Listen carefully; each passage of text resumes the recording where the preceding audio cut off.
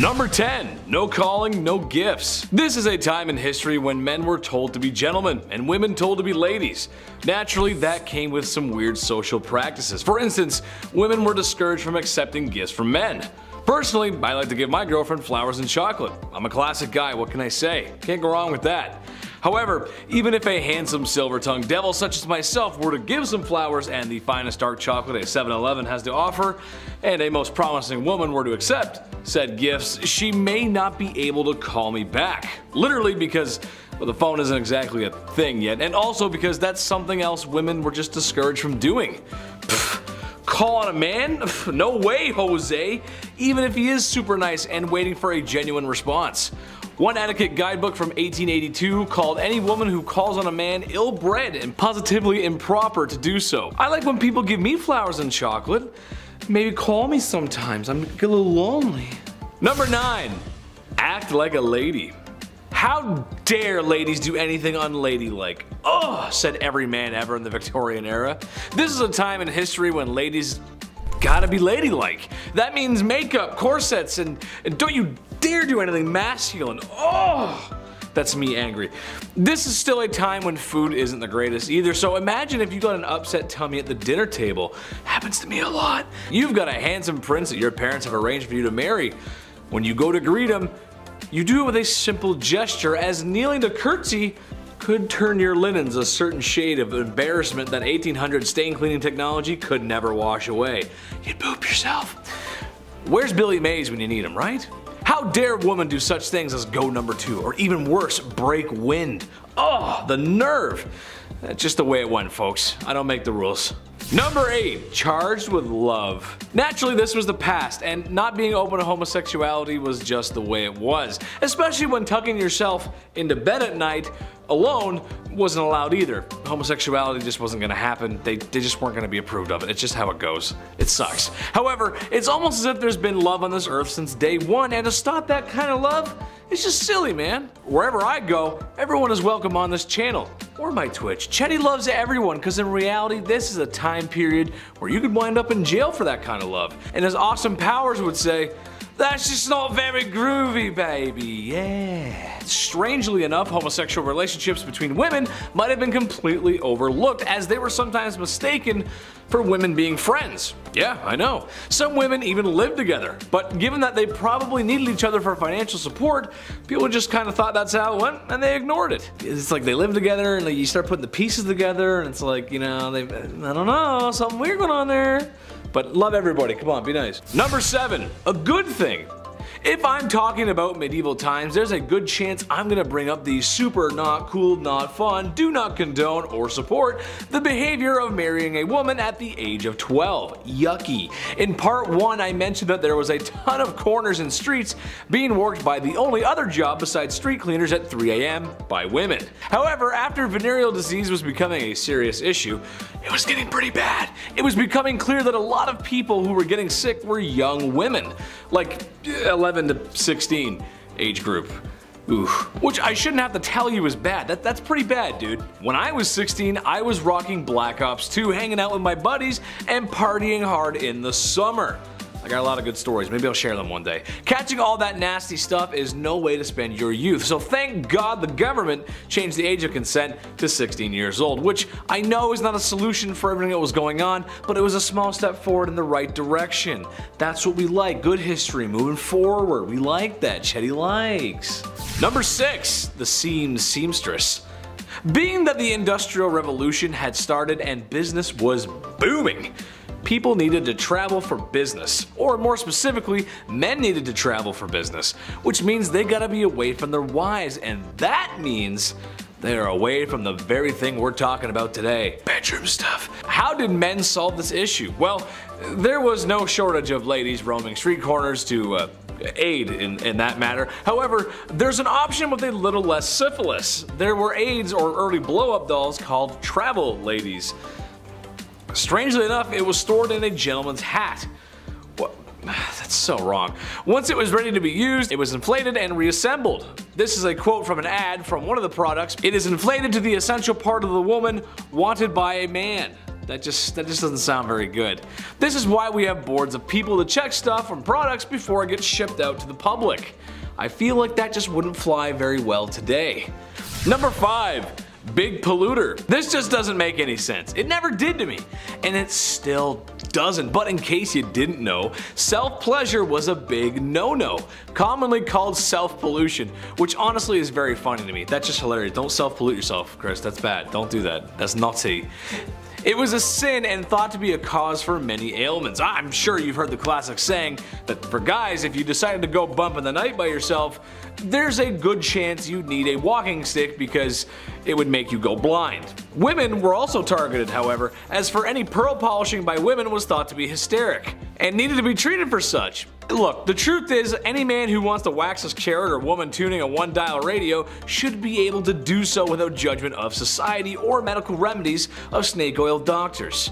Love yourself, love everybody else, and just as long as the bedroom door's closed, you're good. Just, just don't do it in public, you're good. Number 4. Shake and bake. I'm something of a scientist myself, but that doesn't mean I know everything and if you actually need to learn something about health and safety, take it from a professional, not a second-rate John Candy. However, when coming across this fact, I just had to share it, because with my medical knowledge, this just doesn't sound right.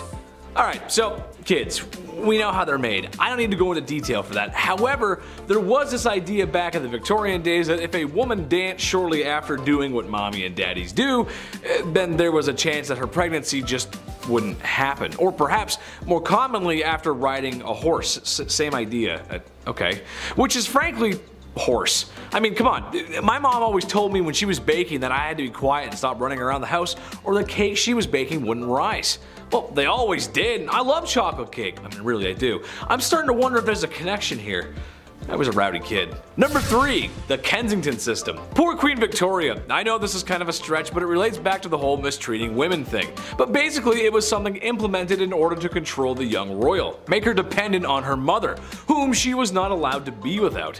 Basically modern day strict parents. Now, all the kids watching right now, or all the kids who've grown up, how well did that parenting work? Let us know in the comments. I'm willing to bet it created a little bit of a divide between parent and child. Am I right? That's exactly what happened with Queen Victoria. Shouldn't be surprised, really. Being a parent is tough. I get that. But squeeze too hard and the sand falls through the cracks of your hand. Victoria wasn't even allowed an hour to herself. And I don't care who you are, no matter how charismatic or bubbly, Everybody needs some alone time. Number 2. A healthy breakfast. Okay, not Victorian London, but this is just too funny not to mention and it's around the same time period, very close. As the great minds of the time thought, self-pollution was a big no-no and the reason for these urges was often related to food.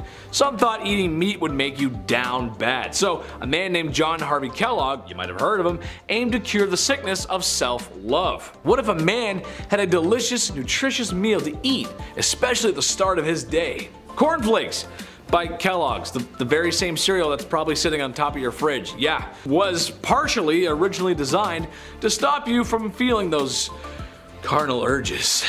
Now, not sure if that works, I mean, go ahead and tell me how you feel after eating a bowl of that. I had one this morning, I feel fine. I don't feel any different at all, I mean, I'm just, well, not really feeling the same about Pam Anderson anymore though. Number 1. Rising Action this could get some married couples into some trouble if they're watching. So sorry. It's gonna be hard to talk about this without saying it because YouTube will send a stern letter if I do, but here it goes. The deed was not considered done unless both parties had signed off on it. Uh, had their toes curled. Reaching the peak, your magnum opus, the way I feel when I eat at McDonald's. DEFCON 1, or simply mispronouncing organisms in health class. I feel like once you're involved, you're involved. And to me, that's a done deal. You can't really reverse it from that point on, regardless of any of my euphemisms. But that's what they thought. They thought if you didn't, you both didn't climb that mountain together, it didn't happen. Because science. Kicking off the list at number 10, a lot of hair. To kick off this wild part 2, I had to include the tale of the woman who ate her own hair. Why did she do it? What happened? How much hair? Well, let's find out. All the questions about to be answered. The Liverpool Daily Post back in 1869 got the attention of those passerbyers with this one. A 30 year old passed away in the village of Lincolnshire. That's not too far off from the average life expectancy of the 1800s, but this case, this case was a little odd. Something was off about it. So doctors asked the family if they could carry out a post-mortem, and lo and behold, a two pound solid chunk of hair was sitting in her stomach. It caused ulcerations of the stomach and ultimately caused her death. What a horrible way to go out. The woman's sister did note that over the last dozen years or so, she had been casually eating her own hair, just one piece every now and then. Ultimately, it added up. If you know anybody that's eating their own hair, pass this on. Send them this video. This sounds rather uncomfortable. Number 9.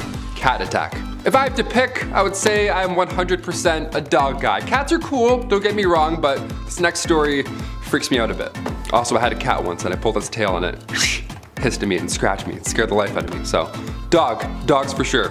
Back in 1870, a rich woman had put her time, energy, and resources into cat breeding. What a fun little hobby and lifestyle. She had tons of cats, she loved them all equally, and they loved her. I'm allergic also, so this story is my nightmare on a level. But it does sound like a cute time, I'll admit, that's a nice way. Especially like in the Victorian era, what a, what a lovely little pocket of fun. 1800s, a lot of candles, everything being extremely flammable, disaster hit often in Victorian times. And in 1870, a fire broke out of this young woman's home, and the cats were sadly trapped in the house. They made it out alive, but by the time they made it out, the two maids that had kicked the door open to rescue them, they had gone full primal. The cats just attacked them and it was all bad. The fire in the house had obviously scared them, so when the doors were open, these two maids were both attacked by them at full force, essentially, all of these cats. Like what a horrible thank you for saving all of their lives, you know what I mean? Number eight, quick divorce.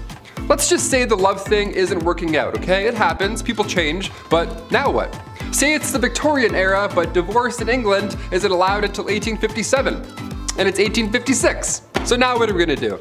Well, considering what list we're on and which part it is, it's pretty wildly unfair. If you were the wife, you were getting sold in this scenario. How horrible is that? Wife sellers, they were a thing. That was a legitimate business. How horrible. Yeah, you were getting sold if you were the wife. How horrible is that? Wife sellers was a legitimate business. There were auctions. Public auctions would be done. You would watch people bid on marrying your wife. At like noon, middle of the day, people are walking by like, oh, do I have any change? Hang on. This is insane. One real sale that happened in 1862 was in Selby. The asking price was a beer. The asking price for this person's wife was one pint. Sold, just like that. That's crazy. Sold, drank, now I'm married. That's insane. Other times, most of the time, it was a rather expensive exchange. I feel like there are plenty of cases where this would honestly be the ideal scenario. Just get it done in one day, whatever. Peace. See you again. Bye. You're the worst. Number seven, the Great Famine. We're gonna lean out of wife selling for a hot minute and include the boys for this one. Yeah, come on back in, you're all guilty. The Great Famine took out everybody, not just Victorian women of course. Back in 1845, potato crop that a lot of the Irish population was relying on was no longer available all of a sudden. A group of microorganisms just wiped them out, just like that, and in result, around 1 million folks died or had to leave. It was draconian law and British ruling that made the exported food hard to reach people that really needed it. So this famine led to Irish independence and anti-union movements. Little fun bit of history I had to include on this one. Number six, the Brooklyn Theater Stampede. And we're back to absolute horribleness. Here we go. I love the theater. When the pandemic shut down plays, I actually felt pretty sad. I like sitting in full rooms watching a guy in a fake wig monologue about Mozart. Like that's my ideal Saturday night. That's the best. I don't want that to not be a thing anymore. I love theater. But today we have an obnoxious amount of distractions that can take you out of the experience. Guy's texting fighting his ex-girlfriend two rows ahead of me. I'm trying to watch Joseph in the amazing Technicolor Dreamcoat. I'm like, man, it's not the same anymore. Theater's not the same anymore. Turn off your phone. Throw a tomato at him. It can be distracting. Exit signs can also be pretty distracting, but we need them. We definitely need them. Because in 1876, the Brooklyn Theater caught fire after a single lantern fell over on stage during a performance. This was 1876. Everybody was wearing flammable attire. There aren't emergency exits yet. A fire marshal hadn't come in and counted heads at this point, so it was a disaster. 278 people lost their lives. A monument was put up after the incident. It shook the town. It was absolutely horrible. I read about this and I was like, that's horrible. We got included in. This is a horrible list. Number five, the hobble skirt. Yeah, so when people can't get out of burning theaters, it's stuff like this to blame. Just from this 1910 headline alone, I'm glad we don't have hobble skirts anymore. The June 12, 1910 headline reads, The hobble skirt is the latest freak in women's fashions. The latest freak. Skirts that are so tight around the ankle that locomotion is seriously impeded and speed is impossible. Nice. I'll take two, debit. Doesn't that sound like a bad time? Why would anyone want this? Sounds like you're gonna be late for everything. French designer Paul Poiret made these to free the bust, to free the, you know, hmm, have a lot of room in here, whilst shackling the legs. So you in turn have to, you can't move. Just what you need to move around uneven stone roads, I guess. Love the practicality on this one, Paul, thanks. Despite how ridiculous and unsafe the hobble skirt looks and acts, only the wealthy could afford such a thing. Shoot! Oh man, must be nice. I'll just be over here wearing jeans like an idiot. Middle and lower class women wore skirts with slits or buttons so they could, you know, actually walk around. Yeah, what fools. Oh, sorry, you want a button? I don't speak broke, sweetie.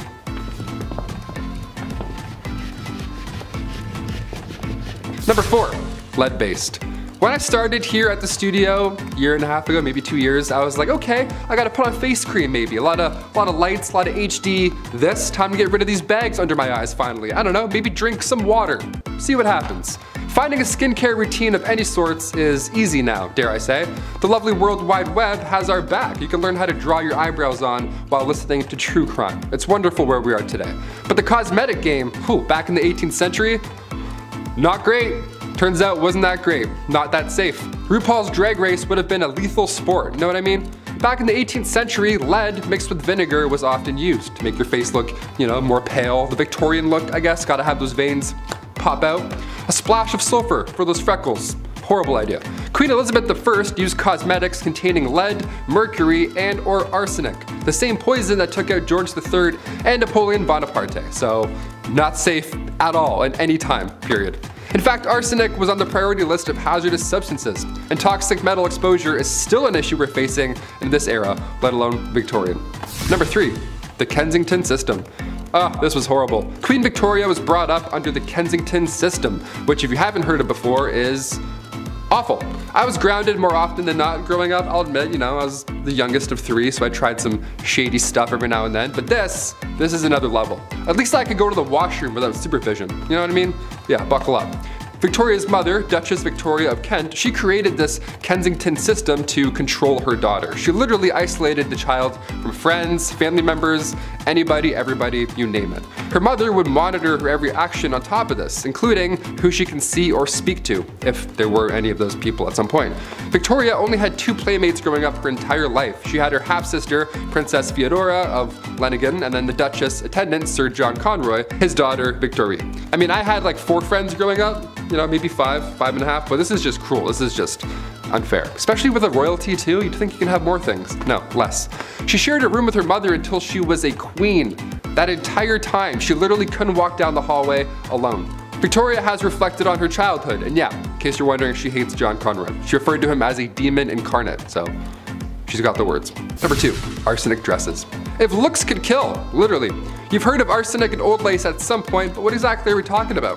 Back in 1861, a poet by the name of Henry Wadsworth Longfellow, real name, his wife, Fanny, also real name, her dress caught on fire and her burns were so bad that of course she sadly didn't survive. But this was sadly common in Victorian days. Puffy dresses, open candles, as we heard earlier. These dresses back then, they were flammable as is, but some of them were made with literal poison. Some of them had arsenic made to have that like green look, like the real arsenic green look. It wasn't just in clothing either. Back in 1861, an artificial flower maker named Matilda Scheurer used green arsenic laced powder and her fingernails had turned green and green foam started coming out of her mouth and it was just a horrible way to go out. Arsenic is not supposed to be inhaled, let alone worn. Although yeah, it did look nice for a hot minute. Not worth it. And finally, number one, Queen Victoria's threats. Being the queen and all, and we're talking about the Victorian era, I figured we'd end with this one. Being the queen and all, a security team is always needed, and during her reign, there were multiple, multiple attempts to harm the young queen. The first attack was back in 1840. It was an 18-year-old man named Edward Oxford, and he fired towards the queen's carriage, but obviously and luckily missed. But when Edward was accused of high treason, he was actually found not guilty due to insanity. Then a couple years later, in 1842, it happened again. This time, two men fired at her. They were found guilty. In 1849, her carriage was attacked by William Hamilton. In 1850, as the carriage was passing the gates of Buckingham Palace, Robert Pate, a retired soldier, ran up and hit her with his cane. Victoria was okay thankfully, but of course, she was shook. Then again in 1842, 1849, and 1872, attempt after attempt. But then things got a little worse. If you haven't heard of Boy Jones or anything that happened here, I saved it for last because it's extremely unsettling. A teenager stalked the Queen back in 1838 until 1841. Edward Jones, aka Boy Jones. This guy somehow managed to break in into Buckingham Palace more than once. It was some Assassin's Creed type stuff. He just knew some back way, climbed some window whatever. The guy just knew a route in, so he would break in and would more often than not just hide under the Queen's sofa. He would sit on her throne sometimes and one of the worst things ever, he would go through her drawers and like go through her clothes and stuff. It was creepy. He would steal her clothes until eventually and thankfully he got caught. Of all the things you can do, of all the crimes you want to commit in the Victorian era, you're gonna go hide under a couch for five years? Okay, I'm glad he got caught, but just so weird. What a weird ending. Number 10, Boy Jones. What's more intimate than a stalker? Am I right, ladies? If there's one thing women have loved throughout history, it's having every second of their privacy being watched by some creepy man, right? No. I can only imagine it's been worse since the dawn of smartphones and social media. I just, that must be horrible. Well, as it turns out, there were some real creepwads in the Victorian era too. The boy Jones was a stalker of Queen Victoria who on multiple occasions snuck his way into Buckingham Palace, one time escaping with a pair of the Queen's underwear. What? Arrested multiple times but still somehow found his way back to the palace. But what they should have done was swap the queen's underwear for a pair of mine after a shift in the garden center I used to work at. Oh yeah, nobody's coming for you after sniffing those bad boys. Oh! Number 9. Graceful Words this was a time when ladies were supposed to be ladies, and that means manners are on the table and elbows are off. Dresses were worn to not show ankles, God forbid an ankle or wrist bust out. I think more importantly however, or rather unusual that is, is that women were expected to talk a certain way. Good evening, Mr. Burrows. You must excuse my tardiness. There was a dreadful man screaming at me because my ankles were shown whilst mounting my carriage. Your what was showing love? Oh, you hurdle it. I can't believe it. Excuse me. I must be someone else. I don't need to tell you guys how ridiculous that is. I say fly out the handle ladies, wear what you want, do what you want. Number 8. Shots. Not the kind I like. Well, I don't know about you guys, but nothing ruins the mood for me and my lady like being fired upon. Yikes. I'd like to stay the night, kid, but the automatic gunfire coming from outside is starting to get to me. See? All gangster impressions aside, things must have been that way for poor Queen Victoria as she was shot in her carriage in 1840. A young man fired two shots at her carriage. More attacks would actually follow in the coming years. It's kind of hard to feel that certain kind of way after bullets go grazing past your pretty face. The worst thing that ever happened to my generation was making sure nobody was home when you were studying with your boyfriend. I was too busy playing Call of Duty, but at least I never got actually shot at. You know what I mean? That's just a good thing. Number 7. Expectations. Alright, this one goes out to all the married ladies in the audience. Hello, how are you? I'm doing great, thanks for asking. I'm curious as to why you got married and what your expectations were. Did you marry your high school sweetheart and live happily ever after? Maybe you had a shotgun wedding and after one night at the saloon. Maybe you just really wanted to find a nice man and settle down, start a family, be a mother. I think any of those options are great, so as long as you have options. In Victorian England, you were expected to do the latter. Women were expected to get married and have kids, and that's about it really. My question is, why were ankles and wrists an issue but giving birth isn't? What I mean is it's kind of a compromising position to be in. All I'm asking is that the girls get treated fairly and given choices and be allowed to show some ankle. It doesn't make any sense. You can look at her business down there but you can't show an ankle? That doesn't make any sense. I'm a magician. Number 6. Double Standard Divorce sucks. It's no fun. The person you once loved and cherished is now the villain in your story. I love McDonald's and I don't ever want them to be the villain in my story. I love you guys. Gotta get those Happy Meals. Divorce is something that isn't new. Honestly, it was probably invented the second after marriage was. In Victorian times, men had the right to divorce their wife if they had committed adultery. Women could not. Well, if you refer to my last part, you know that men were doing more than a little window shopping when it came to women. When men left town for business, they would have hired the services of a woman who patrol the streets at night. No, I'm not talking about Batwoman either. So men can divorce women if they dare to do what they did on a regular basis. Yeah, that's that's totally fair. Not yeah, that's good. Equal. Absolutely. Yeah. Number 5. Emo girl. All the forever alone people raise your hand. Let me hear you roar XD. I like to joke around a lot and say I'm a lawyer, a firefighter, and the cutest guy on the whole wide internet. But if there's one thing I know, it's people. I like people. I love them. I spend a lot of time with them, and after hearing this, I've come to the conclusion that this is where the emo girls come from. I figured it all out. It's down to a science. I'm a scientist now. Do you ever get that feeling in your tummy on Valentine's Day because you know it's going to be another one alone? And you'll be forced to be on your own, and, and, and that means sad music and crying in your room.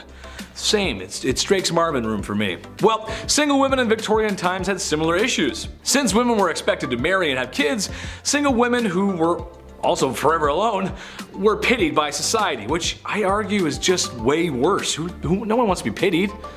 Ugh. Number 4. Gold Diggers. She take my money when I'm in need. As she travel. Okay, anyway, back to the actual content. Well, not exactly. While today in a place like sunny California, you might see an older man with a woman who's half his age. Maybe he's driving a nice car, or she's got on the very best and latest from Louis Vuitton. Stylish, yeah. Most of us think some thoughts about what we might think is going on there. We can kind of be judgmental sometimes when we see things like that. However, looking through a lens of 2022 to Victorian times might make the women of Victorian times appear to be gold diggers, but in reality, it was because all of their financials were tied to their husbands, legally too.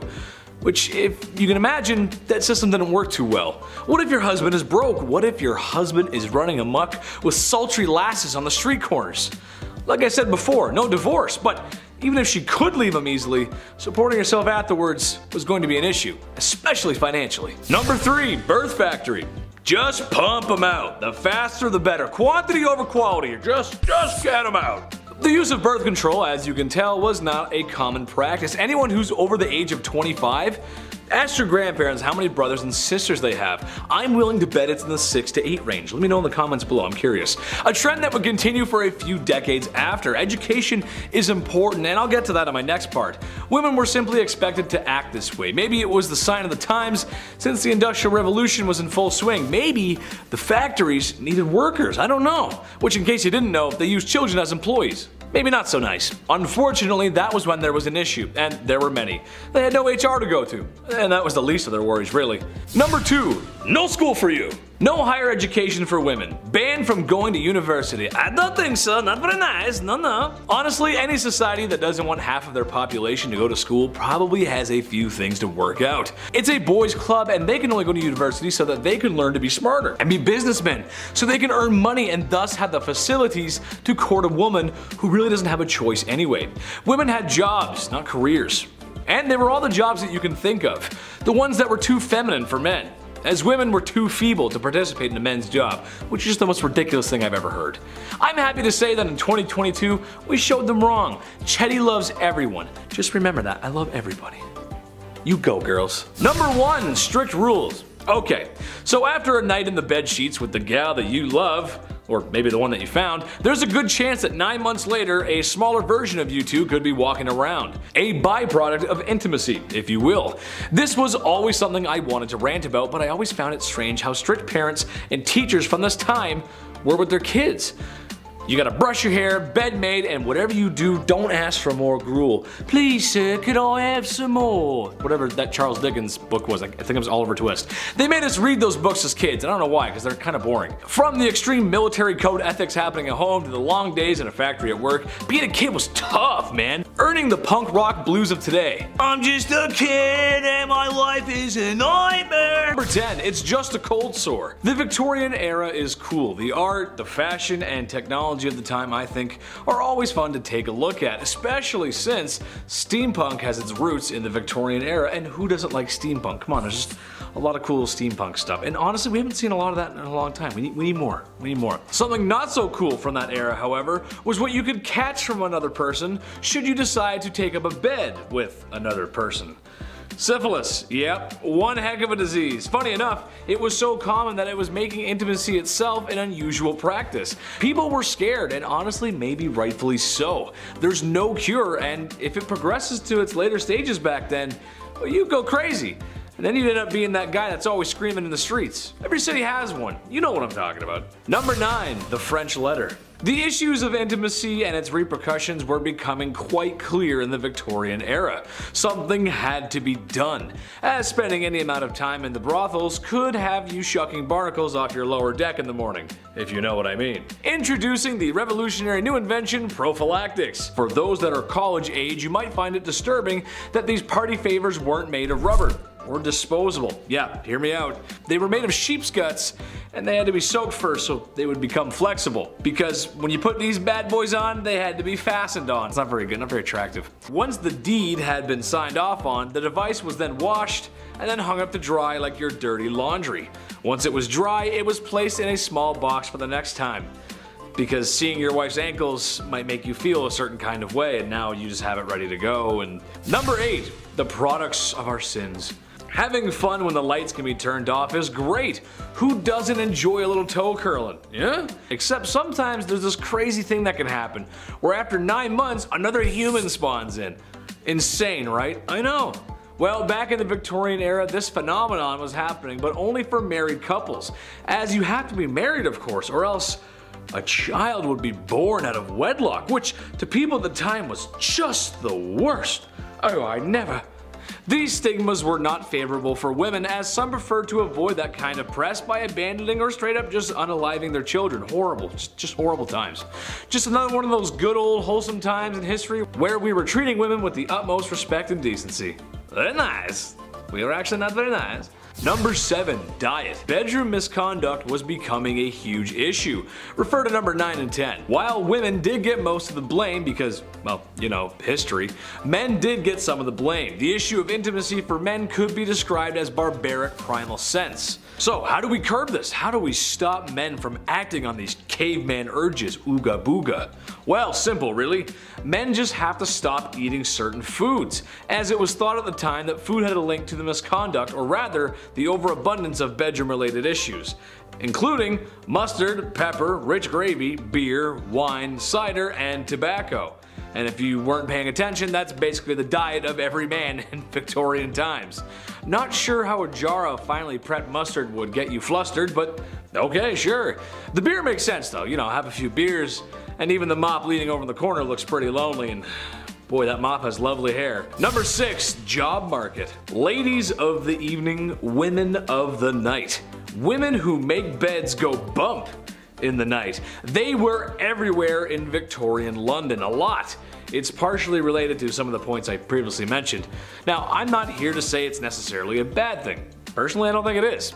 As they say, it's the oldest profession in the book, with an estimated 80,000 women working in the night by the late 1890s. You'd have to be crazy to miss that. I mean, they, they were literally everywhere. With numbers like that, there's something for everyone and in varying price ranges, as they can be found in brothels or townhomes set up by the wealthy men for their mistresses, pretty much anywhere trouble likes to spawn. Even some artists took advantage of this by living with the gorgeous girls of the evening, as going behind closed doors with one was debatable, but Becoming friends? Now that's a social transgression. That, oh, becoming friend, oh, how dare you befriend the people of the night?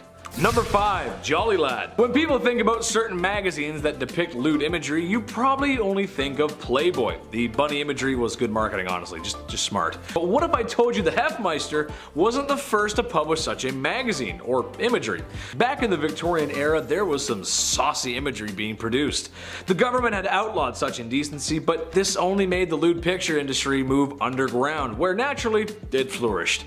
Especially in major cities. And if you knew where to go and how to ask for one, you could purchase something from the hidden menu. Kind of like when you go to McDonald's. Yeah, there's a hidden menu there too. Google it and see for yourself. I'd repeat what my favorite one is, but I would be in trouble from the YouTube gods. And I've been treading on thin ice this whole video, so uh, Number 4. The first counterculture.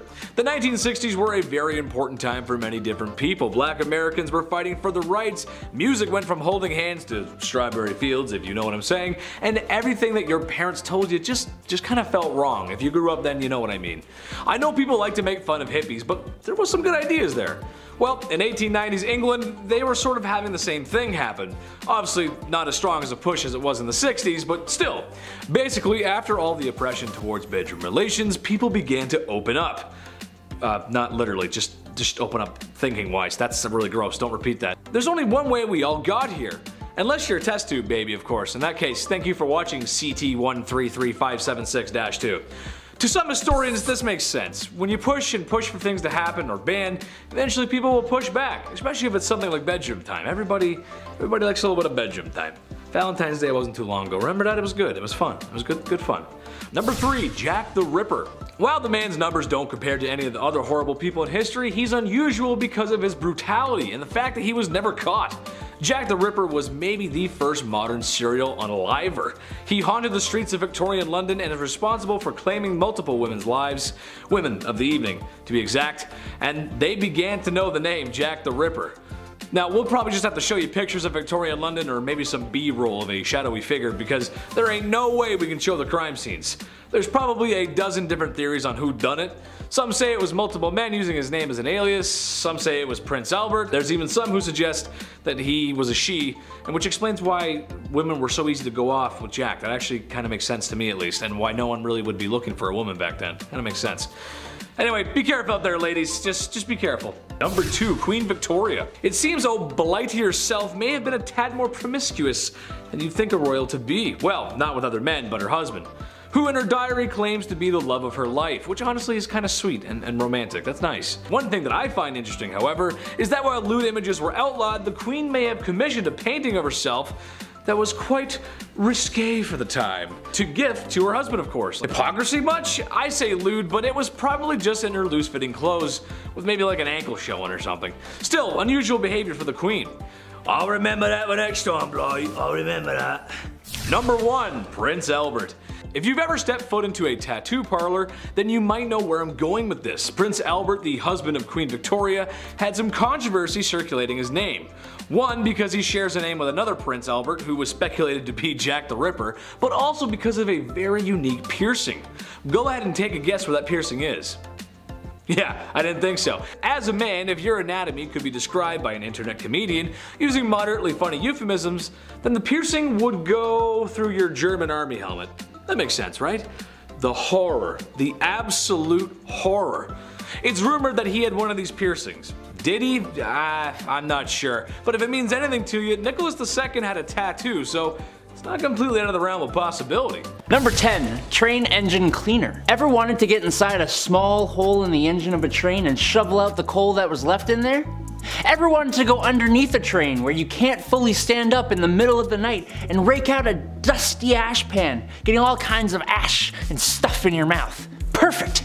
You can go join up with the railroad as a train engine cleaner. These guys would spend their days shoveling 5 to 6 tons of coal into the furnace of the steam trains, and then spend their nights climbing into said furnace, cleaning it out, and then going out in the middle of the freezing cold, wet night into a trench covered in water and oil and dust and get right up under that sucker and pull out all the ashes and dust and crap that came out of the engine while it had been running all day. Number 9. Linker Boy or Linker Men. Before the introduction of gas lights on the streets of London, the only gaslighting came in the form of small children who made you believe that you wouldn't be able to walk the streets without them tagging along with a torch to help guide your way. Then they'd expect a tip from you.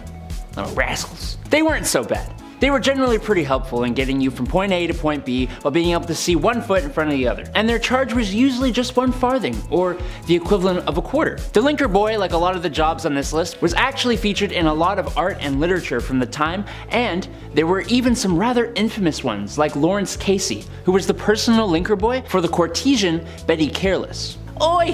Where you going, mate? You forgot to like and subscribe to the channel. Oh, and while I've got your attention, why not take a little peek over at our Facebook, where you'll find behind the scenes content. Get on with it! Alright, alright, bloody hell, bloody hell. Number eight, knock her up. No, not like that. God. Look, I despise my alarm clock. It wakes me out of my deeply deserved beauty sleep at 6 a.m. every weekday morning. Now take the alarm clock and assign that job to a real person. That person is a knocker up, a person employed to wake up workers at mills and factories on early shifts, going from house to house using a long pole to knock on bedroom windows. In other words, a person employed to become the epitome of all my hatred in this world. If you had this job, well, you're not alive anymore, but I hate you. The people at the time were somewhat friendlier than they are now, and I'm sure the knocker-upper wasn't a horrible person, but I'm sure there had to be some grumpy gills who would put their hand on your chest for doing this to them. Number 7. A phrenologist. I think if this YouTube thing doesn't work out for me, I'm gonna go and make up a science. It worked for phrenologists. They claimed that a person's personality, character traits, and abilities could all be figured out by bumps and indents on a person's skull. Characteristics like secretiveness, amativeness, conjugality, and combativeness were apparently controlled by areas of the brain that they called organs of the brain. The idea was dismissed by the church, but it nonetheless gained traction through Europe and was really popular in the States. The idea that you could modify these organs through self-control and practice sounded really good to self-help gurus at the time, if only it was real. Number 6. A dog whipper. Looking for someone who absolutely despises dogs and doesn't mind being despised by the rest of us otherwise known as a dog whipper. Back in the day, huntsmen would often hunt foxes and nail their tails to church doors, which would attract dogs of the streets. You'd also have churchgoers who would bring their dogs with them to church. These dogs were not allowed in though so they'd all have to wait outside. You know how dogs are though. They didn't just sit there waiting patiently. I'm sure some good boys and girls did, but more often than not they'd be playing and sometimes fighting, disrupting the church services. Enter the dog whipper, who was armed with tongs to grab a dog and remove it from the church grounds, and a whip that would be used on the loudest of the poor pooches. Number 5 a rat catcher. I know this will make a few of you out there squirm in your seats. Rats in Victorian England were a massive problem. They were everywhere. Every nook and cranny of your house, from the basement to the pipes. There was even an account of them spilling over from royal parks. So of course, where there is a problem, there is a job. Rat catchers were pretty famous throughout the Victorian era and were highly praised in society, but the job wasn't too glamorous. You'd be going into the dark, dirty places where rats would make their homes and catching and often killing thousands of rats a year. Often rat catchers would use other animals like dogs and ferrets to help them hunt down the rats too. I don't know though, it's gonna be me. Number 4. An upright worker. Upright workers, otherwise known as chimney sweeps, actually started off being children as young as the age of 4. The smaller size of the little kiddos was perfect for fitting inside and climbing up and down chimneys. The little suckers would rub their elbows and knees up against the brick of the chimney so much that they would be scraped raw before callousing. Isn't that lovely? No, no, it's not. It's horrible. Some children were deliberately underfed to keep them small enough to do the job. Some of them would get permanent lung damage from the dust and smut and smoke from the chimney. Some kids even got stuck in the chimneys. Thank the Lord they eventually passed a law that would make it illegal for anyone under the age of 21 to be a chimney sweep. But even then, tis not a profession many would like to have. Number 3. Matchstick makers. The idea of a lighter wasn't really a big thing in the Victorian era. They definitely existed, as the first one was invented in 1823, but it was not exactly a portable thing. So matches were your match. The first match was invented in 1805, but it sucked. The first friction activated match came about in 1826, and they were made with white phosphorus, which is extremely toxic. But they didn't have machines to make these matches. Nah, it was actually mainly done by teenage girls and in the worst of conditions too. Forget protective gear. Oh, you wanna take your lunch break away from the highly toxic white phosphorus? Oh, no, no, no. That's right. These girls would have to eat their lunch at their workstations, meaning they would end up ingesting the white phosphorus. Mmm, yes, my favorite seasoning.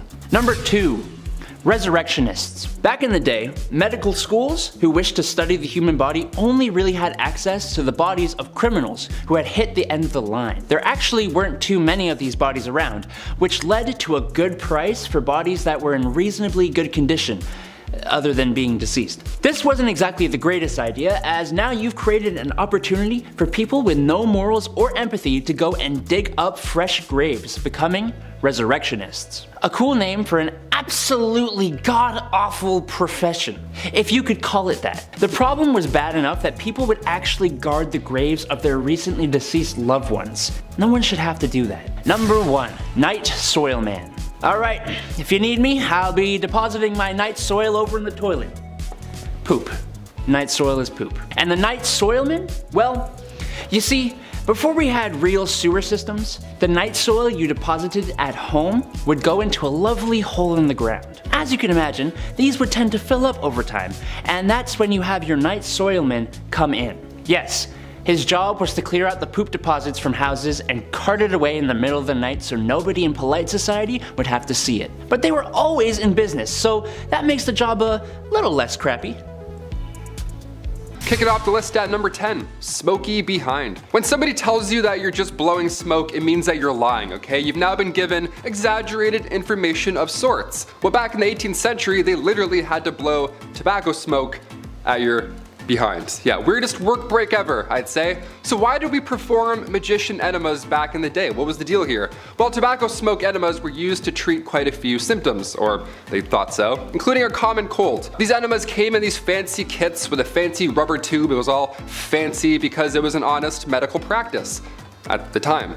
It was done by legit medical practitioners. This is the funniest part. The idea was that the tobacco smoke could warm up a soon-to-be deceased body. The nicotine would stimulate your adrenal glands, jolting you back into good health. The best health, might we say. And the way they would do it in the mid 1800s was by just blowing smoke and just waiting, seeing what happened. We're figuratively and literally blowing smoke. That's the origin of that saying. Fun fact there. Imagine doing that today. Like, eh, I think I dislocated my shoulder. What do I do? He's like, eh, one sec. Number nine, alarm clocks. While the medical world was one threat in Victorian times, apparently so was the technological side. Who knew? We obviously didn't have reliable alarm clocks back in the 1800s, obviously, but we did have jobs. So in order to get up on time, lamplighters or knockers would come by and tip you off. Yeah, they would just yell in your window and just alarm. That's how you'd wake up. A man would yell into your window and smack you with a stick. Legend has it, a young man named Sam Wardell, he got a little creative with his wake up calls. He needed more than a lamplighter at 5 a.m., so he would Tony Stark this alarm clock gadget. He would use wires, a bunch of stones, all that unsafe stuff. Then at a certain time, stones would fall to the ground, of course waking him up, and presumably everyone else in the building. That would be alarming. Well, Christmas Eve 1885, tragedy unfolded. A few friends had come over for a holiday visit, so Sam had to move some furniture around, rightfully so, to make room for, you know, windmills and breakdancing, whatever they did in Victorian Christmas times. The next morning, he forgot to put things back in the small apartment, and the obvious happened. The rocks then fell on him while he was asleep. Yeah, that probably doesn't feel too good. I thought iPhone alarms were jarring. I take back everything I've ever said. Number 8. Relaxative. Okay, so right off the bat, the Victorian era was a little messy. I'm sure you've gathered this by now here on Bumblebee. But these messy new illnesses were putting lots of pressure on medical practitioners, so they were desperate for these new treatments. We laugh at Victorian medical treatments, but they tried, okay? They at least tried. They also achieved many medical breakthroughs as well. But when it comes to handling chickenpox in the Victorian era, well, that wasn't one of them. That was not our finest hour. Chickenpox in the Victorian era was being treated by using laxatives. Yeah, let that sink in for a moment. I have chickenpox. What should I do? Well, try some laxatives. Yeah, folks would slam some castor oil and then, ready for this? They would get even more sick. Who would have thought? You thought you were uncomfortable before castor oil. Yeah, chug that and then now you're even weaker. Now you're dead. Number seven, backed up. Let's say it's the Victorian era and let's say you're constipated, right? It happens, you know? Well, bad ideas will most likely follow, if you didn't already guess that. According to Merck's 1899 medical manual, small amounts of strychnine were prescribed to those who were constipated. Yeah, the strychnos nux vomica was thought to better the gastric functions. Even a small amount of this stuff would attack your respiratory system. You'd contract, you convulse, it's horrible. It'd be a painful way to go out. It's much, much worse than being constipated. Any day. I would much rather be constipated than any type of strychnine. Are you kidding me? Number six, leeches. I grew up with hearing problems. I've been around the block with earaches, ear infections, I had ear tubes numerous times, all that jazz. So I feel really bad for the folks in this next one, okay? I hear you. Pun intended. In the Victorian era, medical practitioners would say to use leeches for your ear infections. That's the number one trick they don't want you to know. There it is. Once they're attached to you, the idea was that they can numb pain while at the same time providing proteins and peptides to its host. So on paper, again, the idea made sense. But the science didn't quite follow, did it? It wasn't entirely hopeless though. Recently in 2004, the FDA reintroduced leeches to the medical world, yeah, because their bite can break up blood clots and induce blood flow. So it's not entirely hopeless. We talked about leech collectors on this channel before, so of course we have to talk about more of the science that they were hoping to achieve with it, right? Also, I worked at a retirement home when I was 16. I thought that job sucked. Imagine being a leech collector? No way. Number five, cat attacks. If I had to pick, I would of course say I'm 100% a dog person. I got, I'm sorry, I grew up with two cats, I'm allergic. I grew up with two dogs, not allergic. Dog guy all the way, sorry. Cats are cool, but this next story just totally freaked me out. Back in 1870, this rich woman had put her time, energy, and resources into cat breeding. How lovely is that? She had tons of cats, she loved all of them, and they loved her. Again, I'm allergic, so this, I'm already sneezing just reading about this story. It was 1800s, okay? A lot of candles, everything was obviously extremely flammable, and disaster hit often in Victorian times. And in 1870, a fire broke out at this young woman's home. The cats were trapped inside the house. Now they made it outside, don't freak out or anything, they all made it out. But by the time the two maids had kicked the door open to rescue said cats, they had gone full primal. They were afraid, they were freaking out, they were just scratching their way out through anyone and everything. The fire in the house had obviously scared them, so when the doors were open, these two maids were both sadly attacked by all of these cats. What a horrible thank you for saving all of their lives. I pulled my cat's tail when I was younger. I learned real quick, uh, never to do that ever again. Number four, hiccups. Today we have many cures for hiccups. Yeah, you gotta get scared or hold your breath or drink water like while you're doing a handstand. I don't know, everyone's got weird ideas, whatever. But nothing was as dangerous as the Victorian era hiccup cure. Yeah, ready for this one? Don't try it. This one's scarier than a jump scare, that's for sure. In 1899, again, in the good old Merck Medical Manual, it recommended using chloroform to cure your hiccups. Uh? Yeah, just completely damage your entire nervous system and poison your kidneys, for sure. To get rid of hiccups, that's way better. This 19th century anesthetic was not a solution. Never try this. Continue scaring your family and friends. That's definitely the way we handle hiccups now. Number three, tapeworms. Back in the Victorian times, they really figured out the trick to weight loss. Yeah, was it watching what you eat, maybe counting your steps, maybe getting a gym membership, something like that? Nope, nope, and no way. No, it was way easier than all those things combined. Can you believe that? And you didn't even have to pull back on how much you were consuming. Doesn't this sound fascinating? What is this? Well, all you needed was a handy tapeworm. Yep, I don't have one. I don't know why I pointed. That'd be gross if I had one. Yeah, tapeworm. You know those things that can kill you today if you get one? See, the plan was if you eat a tapeworm egg, okay, it will later hatch in your stomach and at that point you could just eat anything you wanted. Because every time you ate, the tapeworm would also eat, so you could get your snack on while still rocking those Victorian skinny jeans, right? Tapeworm cyst pills, or go for a jog. Your call. Number two, Victoria's reign. Queen Victoria's reign started in 1837 and it lasted until the Queen's death later on in 1901. At just age 18, Alexandrina Victoria had to rise up to the throne. She was born, of course, on May 24th, 1819. Queen Victoria was fifth in line when she was born, so right off the bat, it was actually highly unlikely that she would ever get the crown. Then one by one, out of nowhere, all of her family members began passing away suddenly. In four years, three of Victoria's cousins passed away, and then her father and grandfather both died a week apart from each other. So by time 1830 rolled around, Victoria was only 11 years old, and already she was next in line for the throne. That's how fast it happens. So as if that wasn't already stressful enough, Victoria was brought up under the Kensington system, which if you haven't heard of before, it's, it's pretty awful. Victoria's mother, Duchess Victoria of Kent, she created this Kensington system to control her daughter. She literally isolated the child from mates or family members, anything fun or social, you name it. Her mother did this to keep her pure, of course, to keep her the most pure lady. This system sounds awful. Her mother would monitor her every action, including who she can see or speak to. Victoria only had two playmates growing up. That's it. I'm like, hey, me too. She had her half-sister, Princess Fedora of Leiningen, and the Duchess attendant Sir John Conroy, his daughter, Victoire. I mean, only three friends growing up, that's cruel. She shared a room with her mother until she was finally queen. Yeah, she couldn't walk down the hallway alone at any point. She had to always walk with her mother by her side, even to the washroom, that's crazy. Victoria has reflected on her childhood since, and yeah, she hates John Conroy for manipulating her mother, and she actually refers to him as Demon Incarnate, so that's good, it's a nice nickname. Incarnate, Incarnate, he's a demon, he's the worst, let's just call him that. And finally, number one, royal enemies.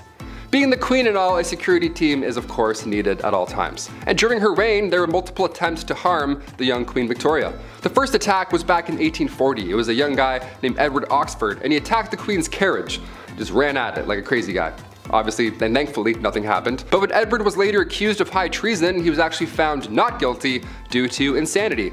Then a couple years later, in 1842, it happened again, but this time it was two men attacking the carriage.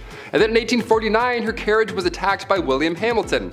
In 1850, as the carriage was passing the gates of Buckingham Palace, Robert Pate, a retired soldier, ran up and hit the carriage with his cane. He was going nuts as well. Everyone wants this carriage. This is like the ultimate, no one's getting through this carriage apparently.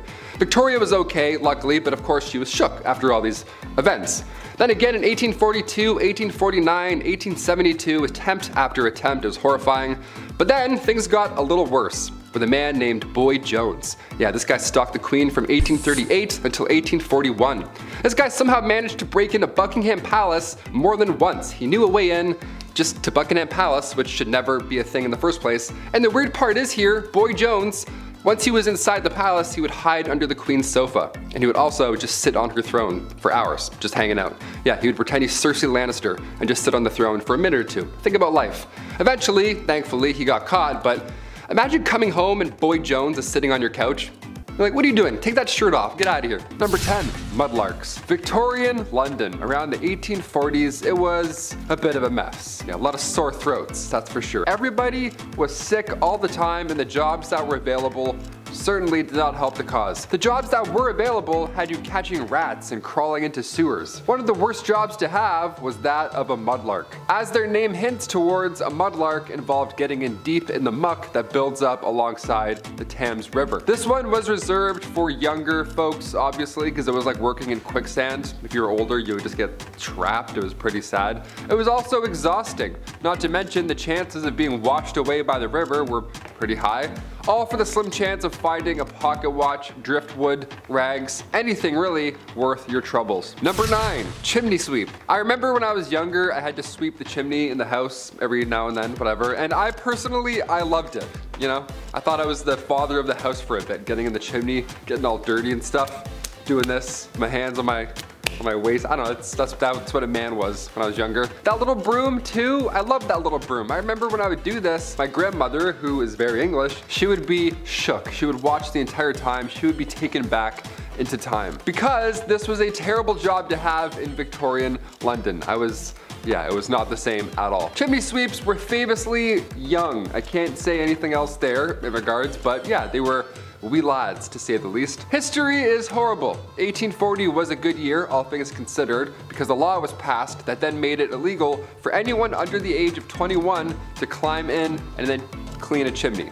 Thank, thank God, I'm glad that stopped. I was 18 cleaning my chimney. I had no idea I could have used this great law. Been like, actually mother, a lot of claws. Number eight, funeral mute. Funerals suck, man. I was a pallbearer like three times before the age of 21. My one arm is just strong as now, that's it. I can lift anything just with one arm. I thought being a pallbearer had a lot of pressure, right? Victorian London, saw many, many funeral mutes. Oliver Twist, one of those lousy jobs in that tale, was that of a funeral mute. Funeral mutes were required to dress in all black with a sash, while carrying a long cloth covered stick, and your job would essentially be to stand and mourn silently at the door of the recently deceased home. Yeah, guy dies of a plague and you're like standing there like holding your breath like great, this is the worst job ever. You would then lead the coffin to the graveyard, so a lot of responsibility. Yeah, don't trip or breathe. Number seven, toilet troubles. Now, the Victorian era was unsanitary to say the least, but it was also dangerous in ways that you wouldn't expect, right? Go to the bathroom and may not come out. One of the greatest Victorian inventions was that of the bathroom, but it took a few tries to figure out the whole, you know, methane gas problem. We gotta really deal with that one first and foremost. Spontaneous combustion of the bathroom was weirdly common. This would, uh, this is every time you take a shit, you were worried that you might just Woo! Was horrible. That's so scary. Flammable gases like methane and hydrogen sulfide, they would build up over time with human waste. Human, a, a, a, lot of human waste. Built up in the sewers and then eventually would back up into your homes. Next thing you know, you're lighting a candle and your bathroom's gone. Just like that. Now we have Poo-Pourri. You know that is? You ever see a little spray after you go, you just you hide what you've done with one little spray at your friend's house. It's fascinating how far we've come. Number six, stairs. Yeah, believe it or not, stairs were a common danger in Victorian times. I'm somebody personally who falls up and down stairs a lot. I'm 6'2", I'm lanky as shit. I have like a Gumby body. I walk around like Woody. I'm always falling up and down stuff. It's horrible. Especially in Canada, it's so slippery. I'm always, always slipping all the time. In Victorian times, I would have been doomed. Houses were thrown up comedically fast. There wasn't a Mike Holmes on Homes to come in and check it out. There wasn't a building inspector that made things, you know, safe. Servant staircases, they were tiny. They were out of sight. They were built into these narrow walls, often missing steps if they had to and cut corners just to, you know, be narrow and out of the way. That plus a tray of hot soup and a lot of clothing, yeah, it was next to impossible to move around without something happening. A lot of fatalities in staircases. Even today, around 12,000 people die each year falling downstairs. Hold on to that railing. I'm here to remind you to hold on to that railing. It's crazy. There's actually no stairs there. I just made that whole thing up. Hit that like button for magic. Number five, Burke and Hare. Medical schools were offering a handsome fee for deceased bodies to study. This was is an odd time. So an unhealthy amount of Victorians came up with this new solution. They thought they were brilliant. Yeah, they would rob graves. They would just go and rob the freshest graves they could find. They would wait in the bushes until the funeral's over and then they would go and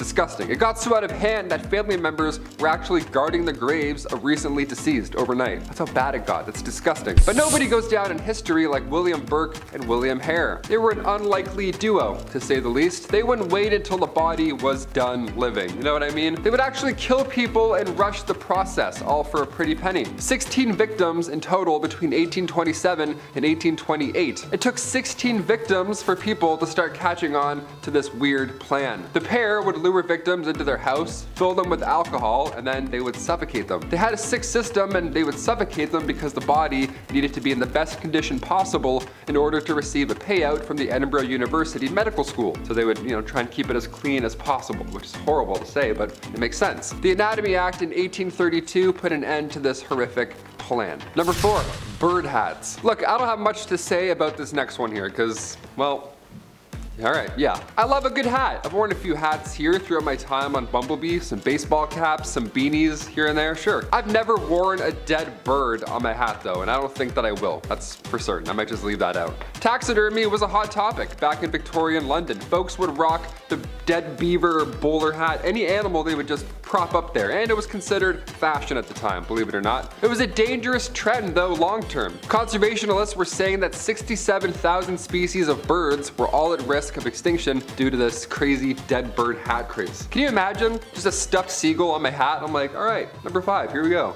It's crazy. Also, that's like a lot of weight, you know what I mean? A lot of weight on your head, just kind of Oh, sorry, there's just a dead pigeon on my head, so my neck's kind of sore. What if the wings opened up and you kind of just like got some air? Maybe that's why they did it. Number three, holiday cards. Today, these Hallmark holiday cards, they go way too hard. And they also have a card for everyone and everything, you name it. Birthdays, weddings, stepdad's name day, you're like, what? That's so specific. Like they have everything covered. But back in the 1800s, these holiday cards, they were brand new. Nobody knew what to write or say, so they would just end up sending these artistic sentimental scenes. It would be like a frog in a top hat riding a bike. No caption, just that. You'd be like, hey, Merry Christmas, I guess. It'd be like a carrot with a face. It'd be a haunting image, really, to receive from a loved one on Christmas, but it's the thought that counts, I guess. This holiday season, just give your parents a card with this on it, and then see what they do. Don't even write anything, just stare at them in the corner, all Victorian-like, and be like, mother, father, Merry Fortnite Christmas. I don't know what they would say. Number two, lots of arsenic. We of course have to mention a big problem in the 1800s. Arsenic, everywhere, all at once, okay? Skin lotion, tons of cosmetics, it was a nightmare. Even if you didn't use any facial cream or anything, it was everywhere else. It was in wallpaper, it was in dresses, it was in toys, medicine. My gosh, it really was horrible. It's a nightmare. And it's because arsenic was cheap at the time. It was during the Industrial Revolution. It was being unearthed more and more, and finally, come 1851, the Arsenic Act was passed, which fixed a lot of issues. Yeah, we regulated that one. Not soon enough, but we definitely got that one fast. And finally, number one, Jack the Ripper. Unidentified to this day, we've got to end on a horrific note. Everybody's just finding out now about Jeffrey Dahmer, it seems. He's a hot topic on Netflix. But what about Jack the Ripper? How did he get away with it this entire time? Why aren't we going to see a Netflix doc on him? Ever. Jack the Ripper was active in the East London neighborhoods, primarily targeting sex workers in the area. Now, at the time, the murders of five women from August to November of 1888 were believed to have been connected somehow to Jack the Ripper, although some sources claim that he was active even until 1891. Again, we're never to know at this point. Many believe Jack the Ripper had some anatomical knowledge due to the way that he left his victims. I can't really say anything else because it's disgusting, but yeah, he knew some things, And while there were some suspects, including a member of the British royal family, believe it or not, Jack the Ripper was still never identified. Getting us started at number 10 is top hats. A top hat is an iconic image. You can see them in old black and white movies or on logos such as Mr. Peanut. But why were top hats created and why were they so trendy? Well, there's multiple reasons actually. Men and women were already wearing hats and bonnets to protect their heads from rain, wind, and the soot from local smokestacks. As a result, hats were already quite a trendy wear. However, the true reason for its popularity is what it represented. The top hat quickly became symbolic of status, power, and masculinity. From 1850 to 1900, men wore top hats for business, pleasure, and formal occasions. Certain colors were even associated with certain times of day. For example, a black top hat was for day or night, making its wearer feel taller, more handsome, even suave. Some were even reported to be a height of 12 to 14 inches tall. Top hats, amongst other hats of this era, also required ridiculous upkeep, such as being brushed, boiled regularly, powdered, etc. They also tend to contain mercury poison. As time progressed, we found other ways to overcompensate as well as accessorize our heads, so it's easier to see why the top hat never made a comeback. Number 9 in the countdown is women and their flirty fans. When you see a gentleman caller across the room, you may want to send him him a hint that you're picking up the vibe that his top hat is putting out. What better way than subliminal messaging with an item you're already carrying? In Victorian times, women carried fans due to fainting spells, which were really just the result of their excessively tight and heavy garments, something we'll cover later in the video. In 1827, a fan maker from Paris, Duvelleroy, uh, published a leaflet explaining the language behind the uses of a fan. Some examples were twirling the fan in the right hand meant that I love another. Meanwhile, drawing the fan across the cheek told someone special that I love you. A fan half opened and pressed to the lips gave permission for a kiss. However, it is rumored that the less romantic truth is that the fan etiquette, such as Duvelleroy's leaflet, was invented in order to boost the sales of fans in the 19th century after they had fallen out of fashion following the French Revolution. Irregardless of rumors, it appears in olden times some people were using fans to get hot rather than cool down. Speaking of keeping it cool, next in our countdown at number 8 is bottomless underwear. While showing a bit of ankle may have made you a harlot, in the Victorian era every woman was walking around with crotchless undergarments. But these strange underoos were invented with a justified purpose. Due to the amount of fabric layers, steel crinolines, and tight bodices and dresses, women of the era didn't really have time to spend an hour undressing before nature calls. By creating undergarments that had holes aligned with the wearer's groin, a woman's only mission would be to hoist up as many layers as she could before popping a squat. Don't be fooled however, that wasn't exactly easy either. Some of you may wonder what happened if Aunt Flo paid a visit while a woman was wearing an open bottom undergarment.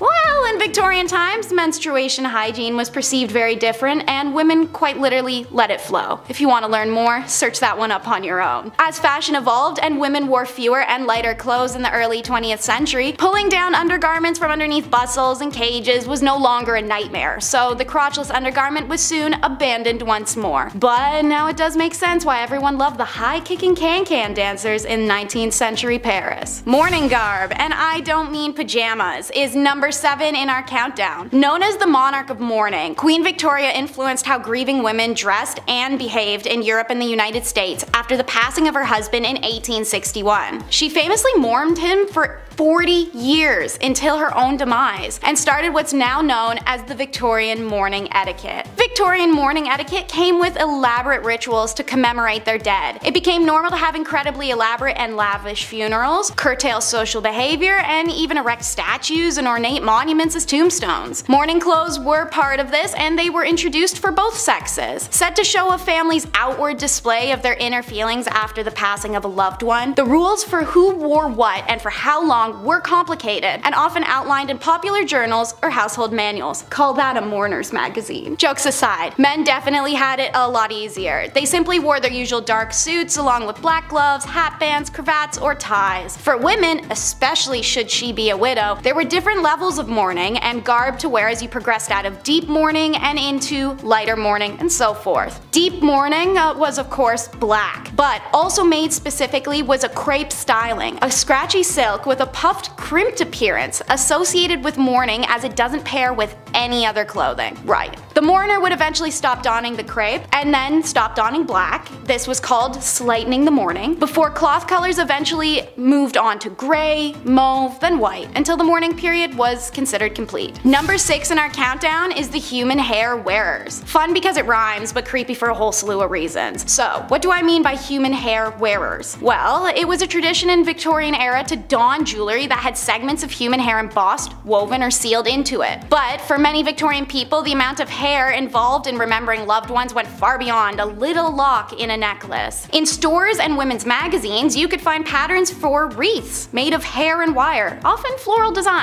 Bracelets, brooches, earrings, and necklaces were also all very common. In its prime, human hair, jewelry, and decor was considered incredibly fashionable. It's even said that swapping locks of hair was a love token between women loving women or friends, the way that girls today might wear friendship bracelets with each other. I guess if you need a trim and you were already late on a birthday gift, you could really just kill two birds with one stone. Number 5 in the countdown is all about buggy dresses. The wealthy Victorians were very into the grandeur, looking to feed a fascination with culture especially. Beetle wing embroidery was at a peak of fame in the 18th century India, and was quickly appropriated by English visitors while military occupied the country from 1858 to 1947. Elytra, which is the hard casing over a beetle's wing, first appeared on dresses and experienced their first burst of popularity in England by the 1820s, though English women in India had likely been donning it since at least the 1780s. Material used was often white or other pale colors to help augment the reflective green tones of the beetle wing. This visual was made possible when elytra was paired with zardozi, a gold embroidery style often done on colored cottons or silks. Victorians at least didn't appropriate everything about the art form. They made patterns and styles of their own for the dresses. Elytra was sewn onto the gowns in an imitation of live beetle patterns, a reflection of Victorian interest in naturalism and zoology. Not sure why anyone wants to look like they have live bugs crawling on them, but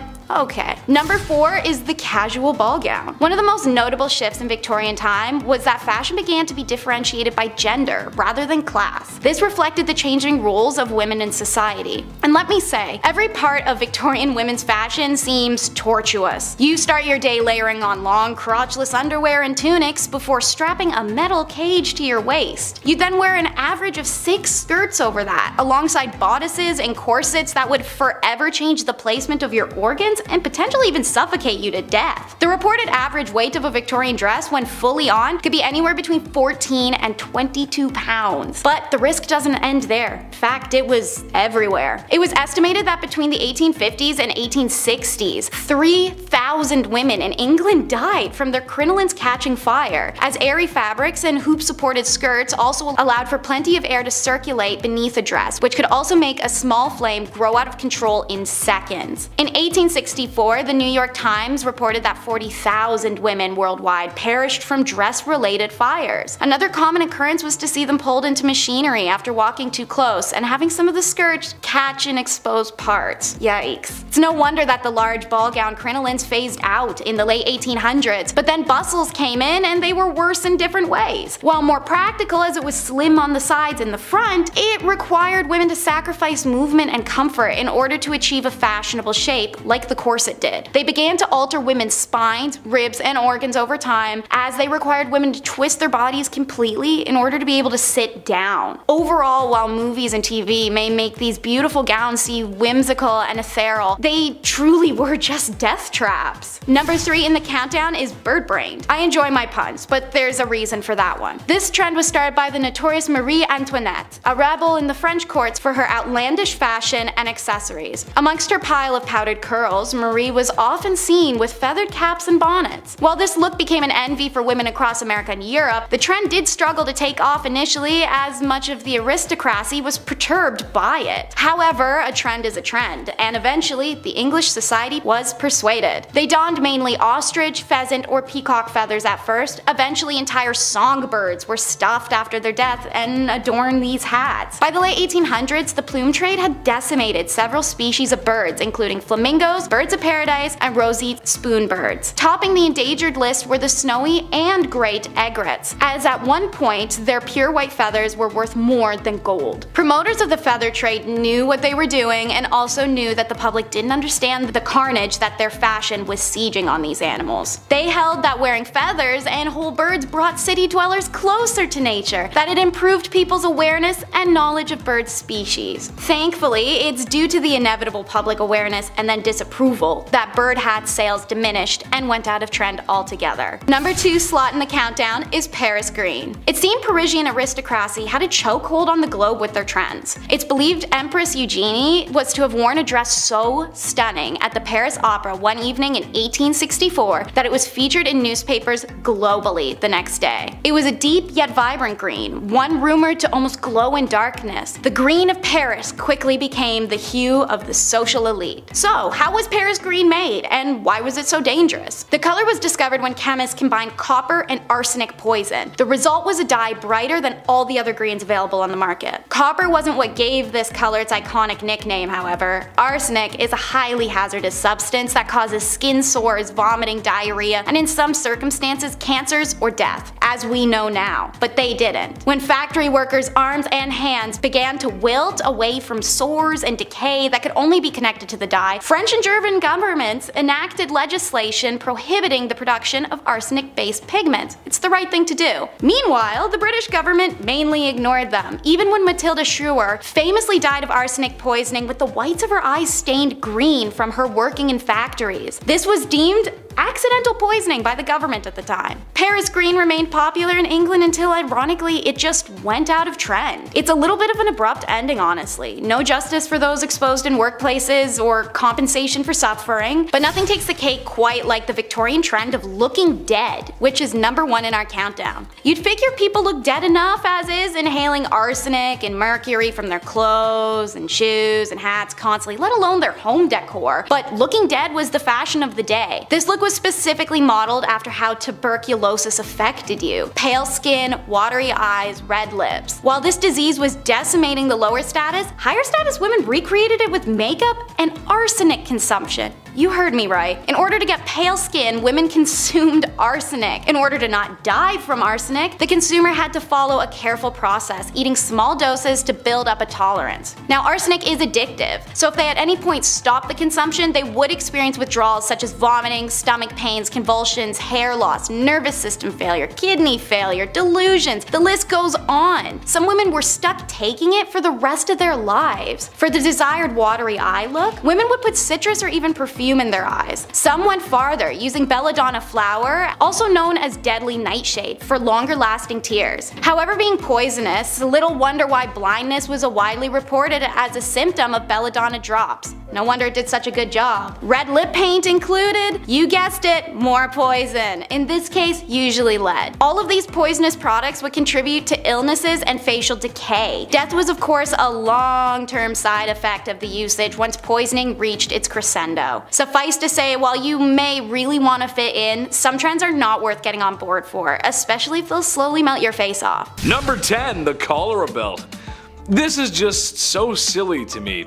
While the Victorian era seems like a long, long time ago, it's really only like three to four people ago. So yeah, your, your grandparents or maybe even your great grandparents could have experienced a life like this. As we all know, disease was rampant back then, and, thank God we're a little less gross now, am I right? Well, cholera was quite the tummy bug going around back then, causing upset stomach, indigestion, and the Oregon Trail's favorite, diarrhea. Ooh, no thanks. So the people of Victorian times came up with something that, well, wasn't only functional, but fashionable too. Very nice. The cholera belt was a piece of red fabric that was to be wrapped around the belly to keep you warm. That's because people thought having a cold belly caused cholera. Because yeah, that's, that's that definitely gives you cholera. Yeah, yeah, for sure. Yeah. That's what does it. It's not. It's a it's a sickness. It's a virus. Number 9. Scheele's Arsenic Green. For some reason, green was all the rage back in Victorian times. I'm not sure why, I'm personally not a fan of green, but except for the green screen. We love that. I know you guys can't see that, but I love, I love the green screen. When I was a paint mixer, sometimes people would bring up the wildest colors for me to mix, and they weren't for art projects, they were for walls. So weird, but I digress. There was a common color back then called Scheele's Green. It was made in a lab by a spooky, scary Swedish guy named Scheele. Huh, go figure. This color was used in everything dresses, fabric, paint, you name it. The trouble is, it was a compound of copper and arsenic. Therefore, it was toxic and caused a lot of harm. It also had links to cancer. For example, when Napoleon was banished to St. Helena, the walls of the house he was staying in were painted with shades of Scheele. Eee, that's not good. Pretty sure he died of stomach cancer too, so there's a connection there. Number 8. Beetle Dresses. Like I said, the green color was really in at the time, and there were other ways of achieving such a gorgeous glow besides using Scheele paint. Similar to how Cleopatra made her eyeliner, some dresses in Victorian times were made with pieces of beetle. I'm sure there are some folks out there who probably don't mind that, but for the rest of us that don't care for Halloween or My Chemical Romance and Tales from the Crypt Keeper, hard pass. Basically any beetle or colorful bug that wings or I guess caprices was worth keeping was prepared and sewn into fabric. The finished product doesn't look like it came from creepy crawlies, it actually looks kind of good to be honest. Mind you, this is a time when a lot of things were still done by hand, so there's a little bit of love in each beetle you stitch, that's kinda nice. Mom, mom helped out with that one, that was nice. Number 7. Wearing black for weeks. Losing a family member is tough. Life can get hard. In Victorian times, passing away was a big deal. There was usually a big funeral, flowers, tears, everything, the whole works. The crazy part is, you were expected to wear black or mourning clothes as they were called, thought to be an outward expression of one's emotions and feelings. However, it's not like that one funeral of the distant uncle you had where as soon as you got home you ripped off your suit and hopped on Call of Duty to see what your friends are doing.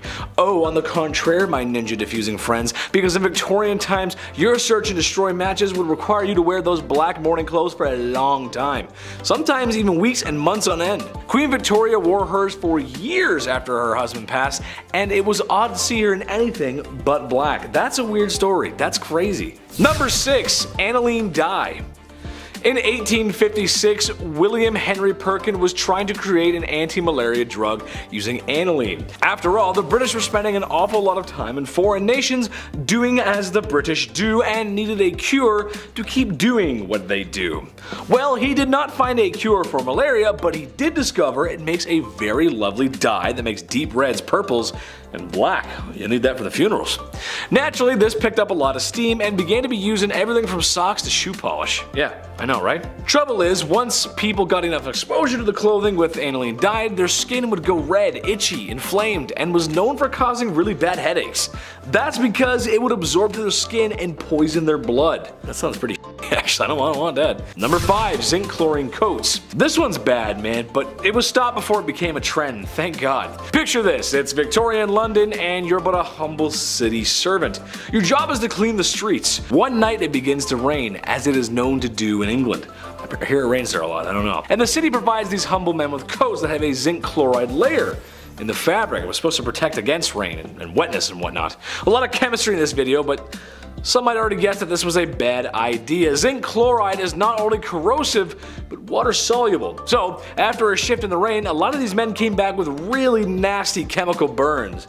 And no, they didn't have emergency showers like in Heisenberg's RV. They didn't have that, or your high school chemistry class. It was really bad. They stopped it immediately, because that's really bad. Number 4. Asbestos fabrics. Crystal like this, he'll remember these. Picture this, it's 2004. It's Saturday afternoon and your dad just got finished watching an episode of Trucks. Nice. And now you have control over the TV remote.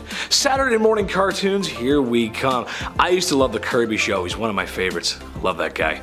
But just before you change the channel, there's a commercial with an old man who looks very concerned. And he says, have you been affected by mesothelioma and or because of exposure to asbestos? Then you may be qualified for compensation. I believe it went something like that. Maybe I should call Saul Goodman. Where's he when you need him?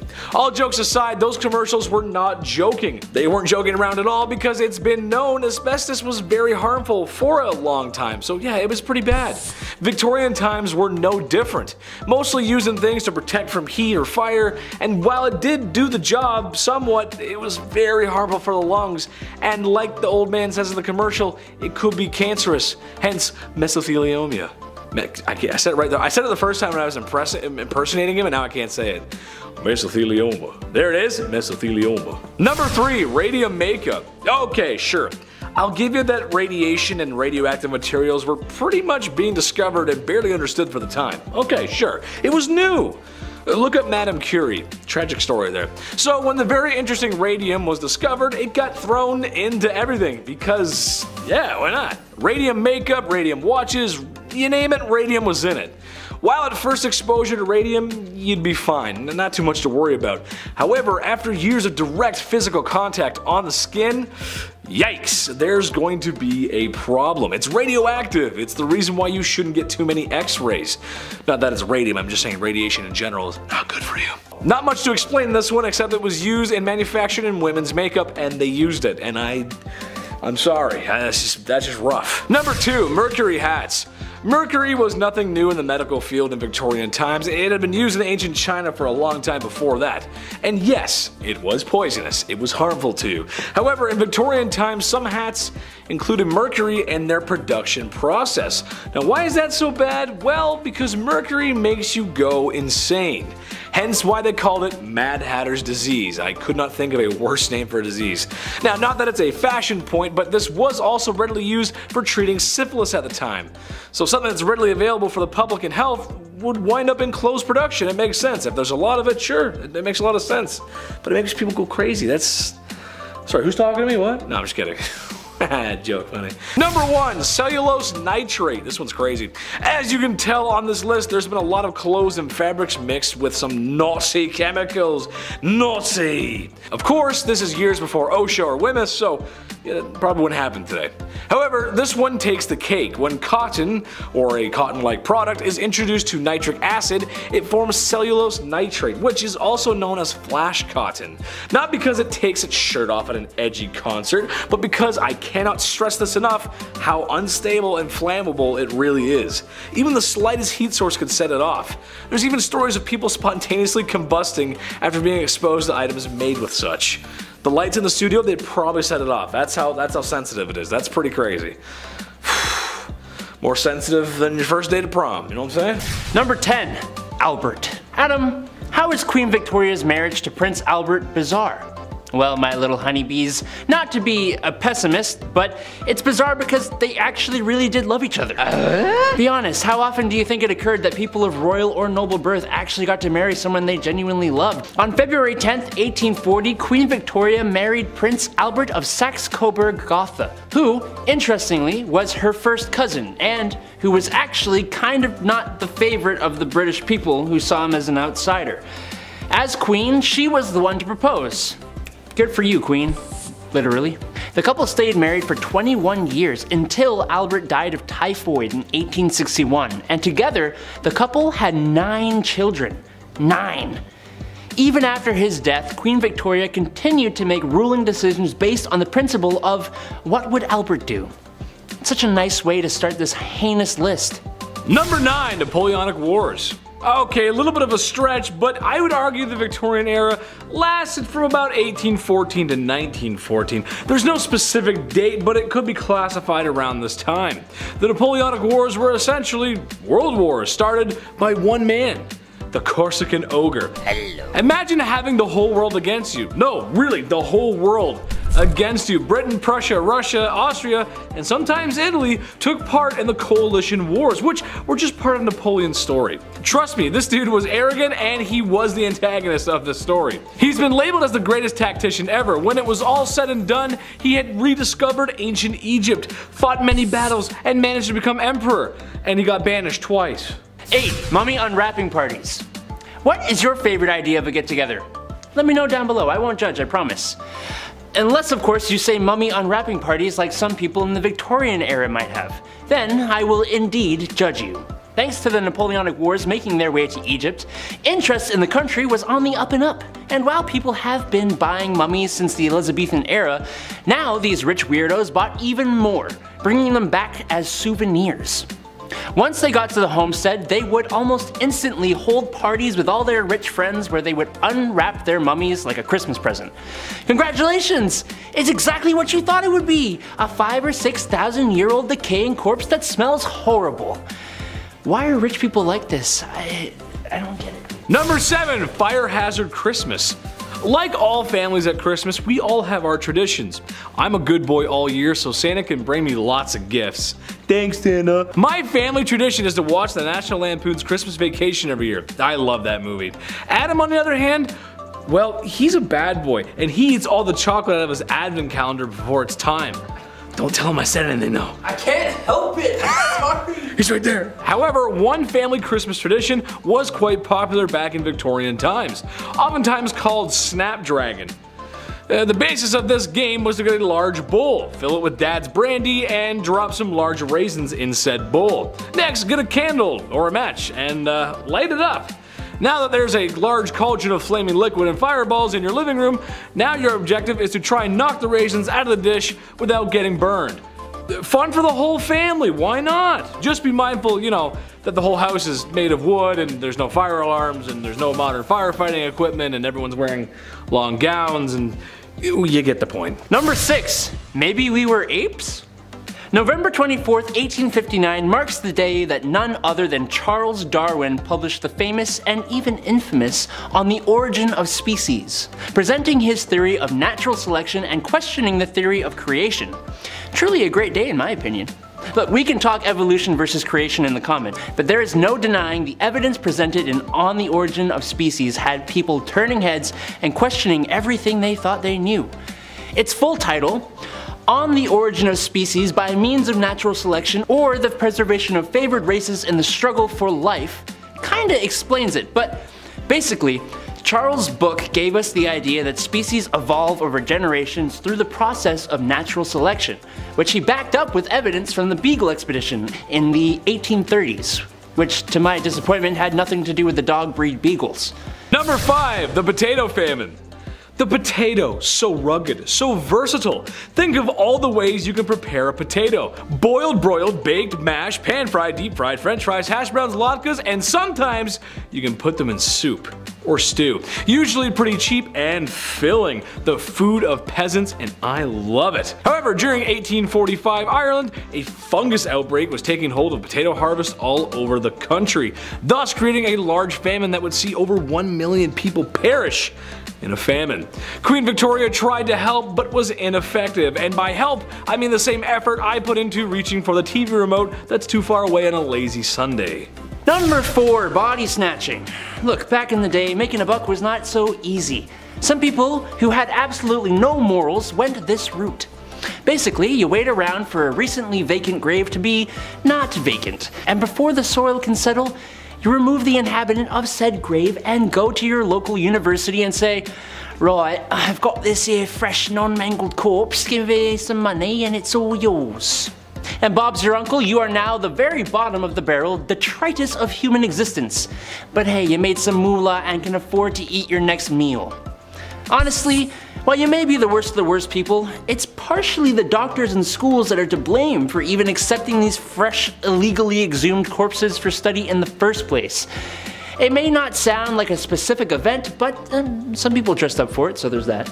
Number 3. The Tube in it. The London Underground, baby, the world's first subway, which let me tell you, it's kind of annoying living in Canada when you have two very popular franchises that share two common names for a rapid underground train. Metro and Subway, right? It's so annoying. You Google Metro and Subway and then the grocery store comes. I never have that. Okay. That's maybe it's a me thing. It's a me thing.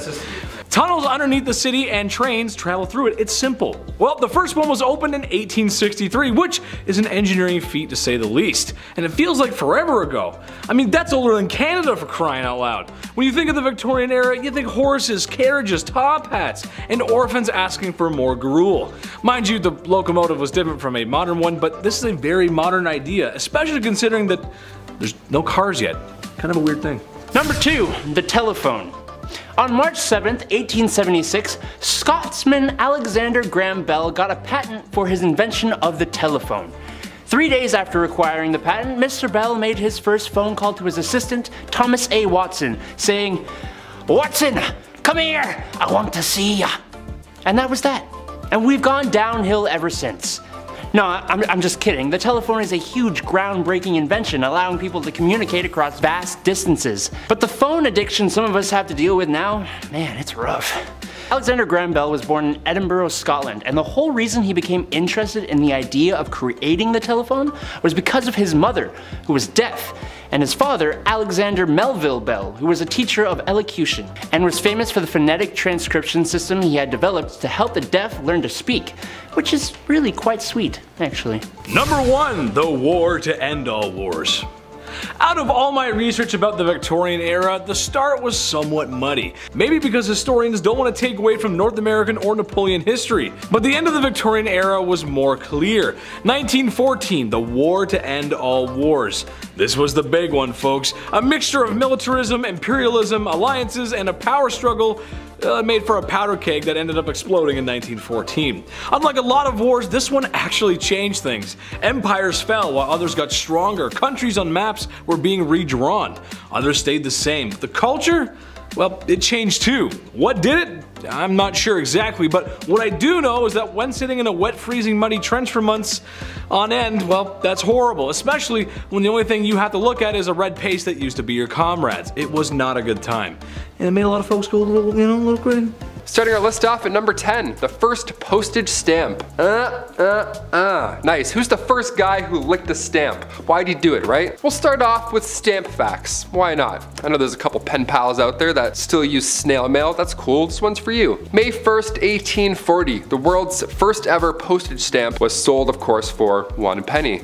Pretty cheap, nice, we love it. This sale changed history. Now on the stamp was of course a portrait of one Queen Victoria, world's first ever profile photo for a letter. Here we go, they're like, oh, who is this? Who's this little person here? Of course this caught on, definitely caught on. More than 70 million letters were sent within the next year. And then that tripled only a few years later. And of course it thrived for 40 years. Do you still use letters? If so, write into us, write some fan mail. Forget the comments, write into us with a pen, with your autograph too, where you live. Yeah, no one's doing that anymore. Number nine, Alexander Graham Bell. I have no idea how phones work. I know it's vibrations and signals and I have to do this occasionally to help it out, but scientifically, nothing. I can't wrap my brain around this technology. Still, I'm 28 years old and I have YouTube. Couldn't tell you. If I was sent back in time right now, I wouldn't beat Alexander Graham Bell. I would just watch him and wouldn't change history one bit. Guy's a wizard. On March 7th, 1876, Alexander Graham Bell received a patent on his invention, the telephone, and just three days later, he made it work. Somehow.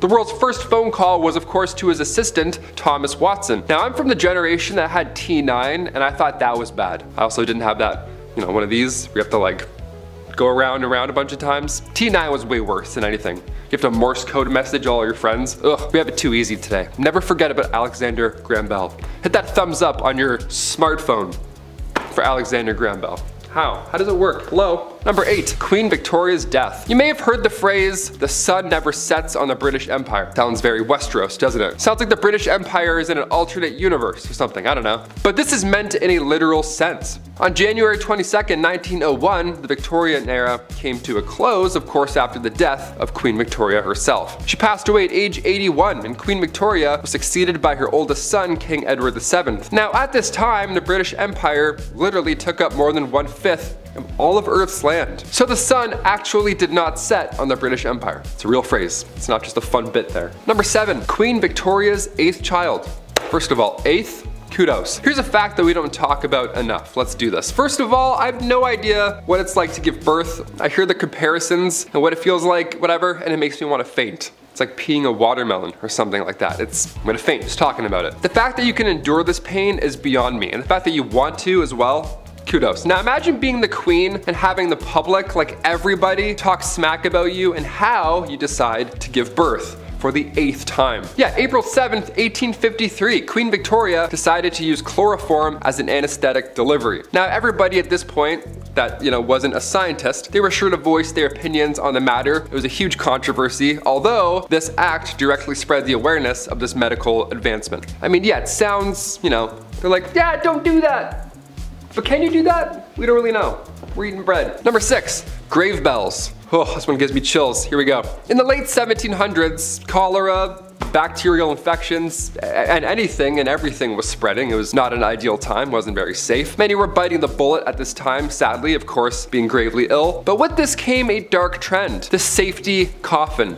Yeah, just a backup coffin. These coffins, Lord forbid you are buried alive, these safety coffins would allow the dead to rise again. Nice, like it's Michael Jackson's Thriller. They would just come out and be like, oh, guess who's back? Back in the Thames, here we go. All these coffins have extra comfort on the inside and a wire. This wire ran through the coffin and then attached to a bell on the outside on the you know, ground floor. So if a passerby heard it, well, they would know something's up. Folks would get creative with their safety coffins. I mean, you know, they'd personalize it. Like for example, a man named Robert Robinson from Manchester. He passed in 1791, but instructed his family and watchmen to open this special door that would reveal a layer of glass. So that's real haunting to find. Hey, come look at grandpa. Yeah, he looks good, eh? Patent number 81437. It was actually granted to Franz Vester in 1868 and it was an improved burial case. Just a glass case with someone who may or may not be alive inside. 50-50. It had an air inlet, a ladder, and of course a bell. The description of the patent says, if too weak to ascend by the ladder, they can ring the bell, giving the desired alarm for help and thus save themselves from premature death by being buried alive. So now I ask you, if you're walking in a graveyard and you heard a bell ringing,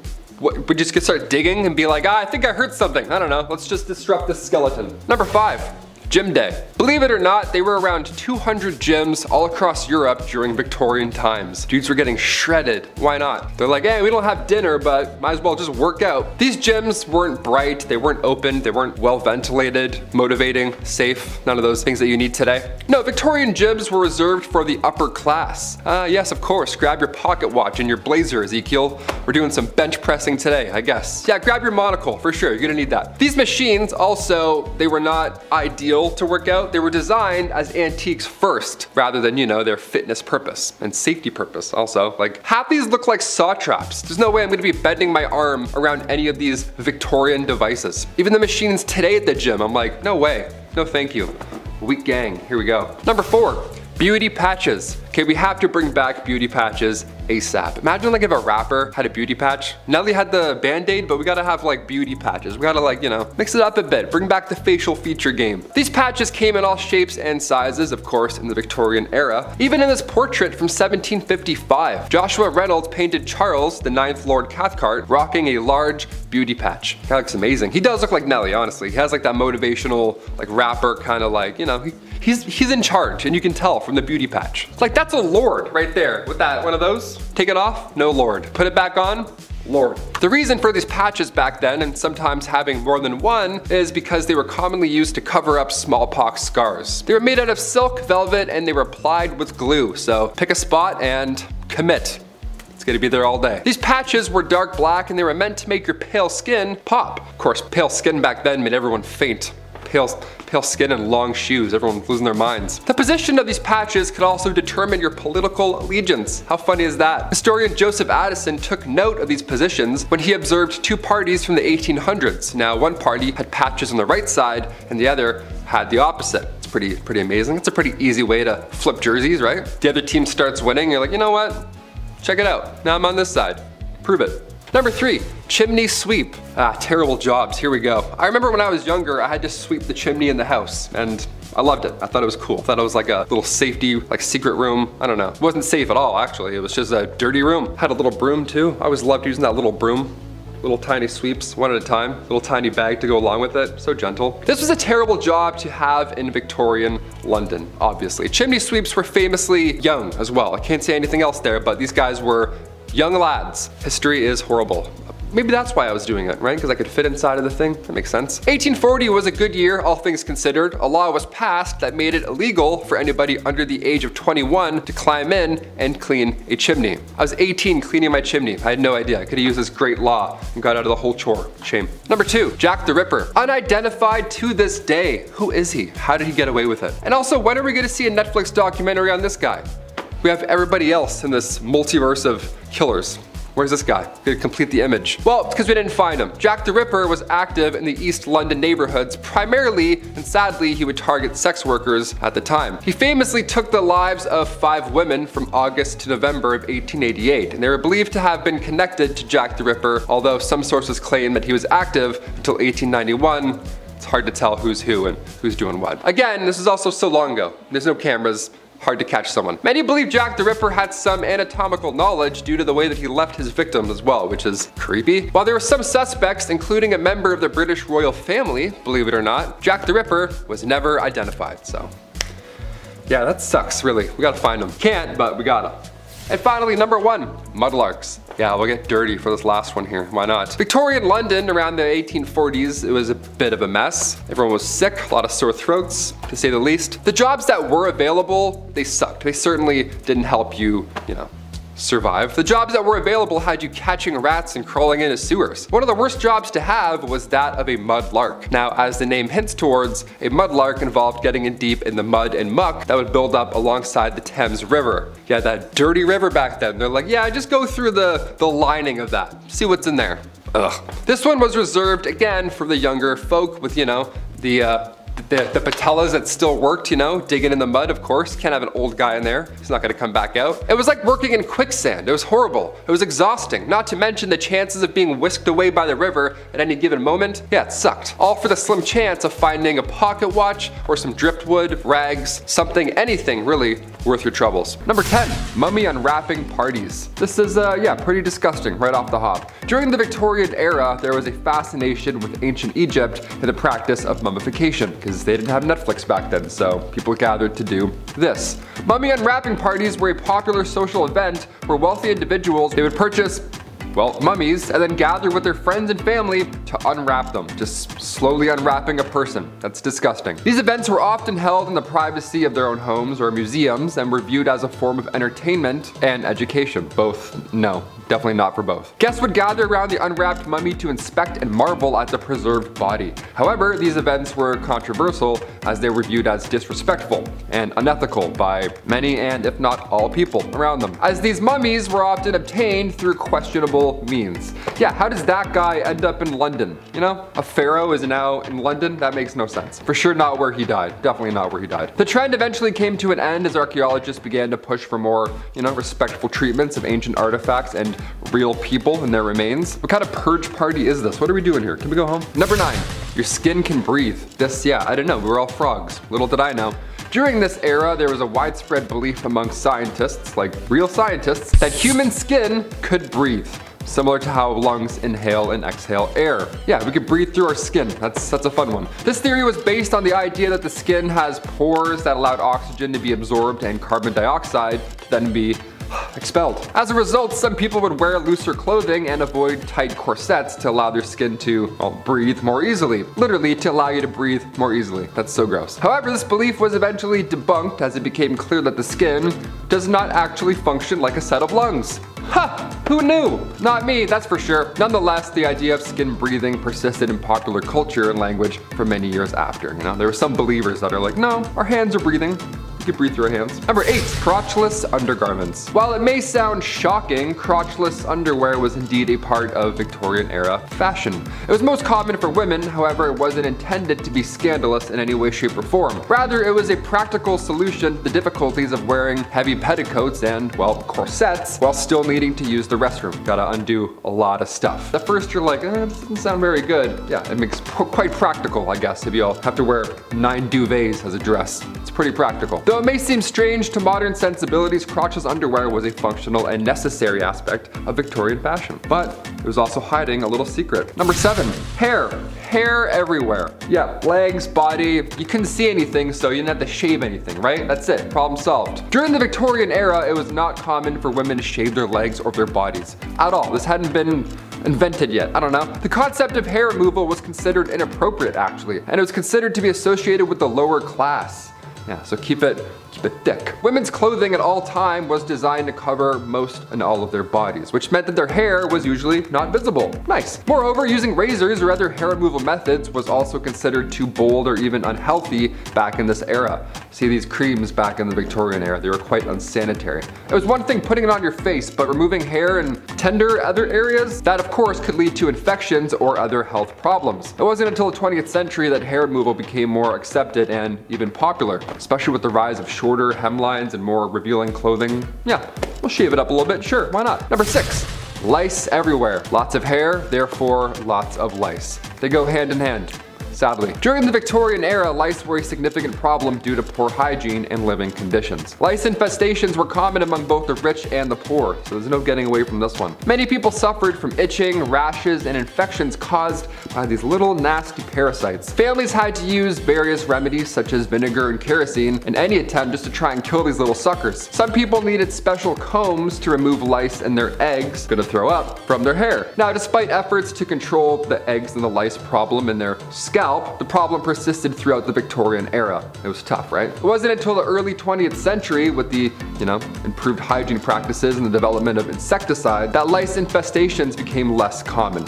Yeah, we, we missed that. We were almost buggy in our hair. Close. Number five, bleach mask. Madame Rowley's toilet mask. Where do I begin with this one? It's kind of fun, kind of terrifying to look at. At first I thought this was a mask you had to wear to go to the bathroom, but no, that would have been a bit better, a bit cooler. Just a Jabberwocky mask for no reason. Compared to everything else on this list, I was like, sure, people would do that. Why not? A toilet mask was a natural beautifier for bleaching and preserving the skin. Even removing complexion imperfections. Yeah, all that happening under one Jason Goalie mask. What a treat. What a miracle, rather. You'd only have to wear it three times a week and then, voila, you were beautiful. Turns out lead cosmetics pasted onto a mask and then onto your face three times a week, that was not beneficial for your health. Yeah, who knew, right? Ah, smelled so healthy. We didn't end up looking younger, we ended up poisoning our faces all in the name of beauty. But just wait, it gets worse. Number four, Toilet troubles. Ah, the bathroom. Another dangerous reason why we can't use it. Victorian era was unsanitary, to say the least, but it was also dangerous in ways that you wouldn't expect. One of the greatest Victorian inventions was the bathroom, but it took a few tries to figure out the whole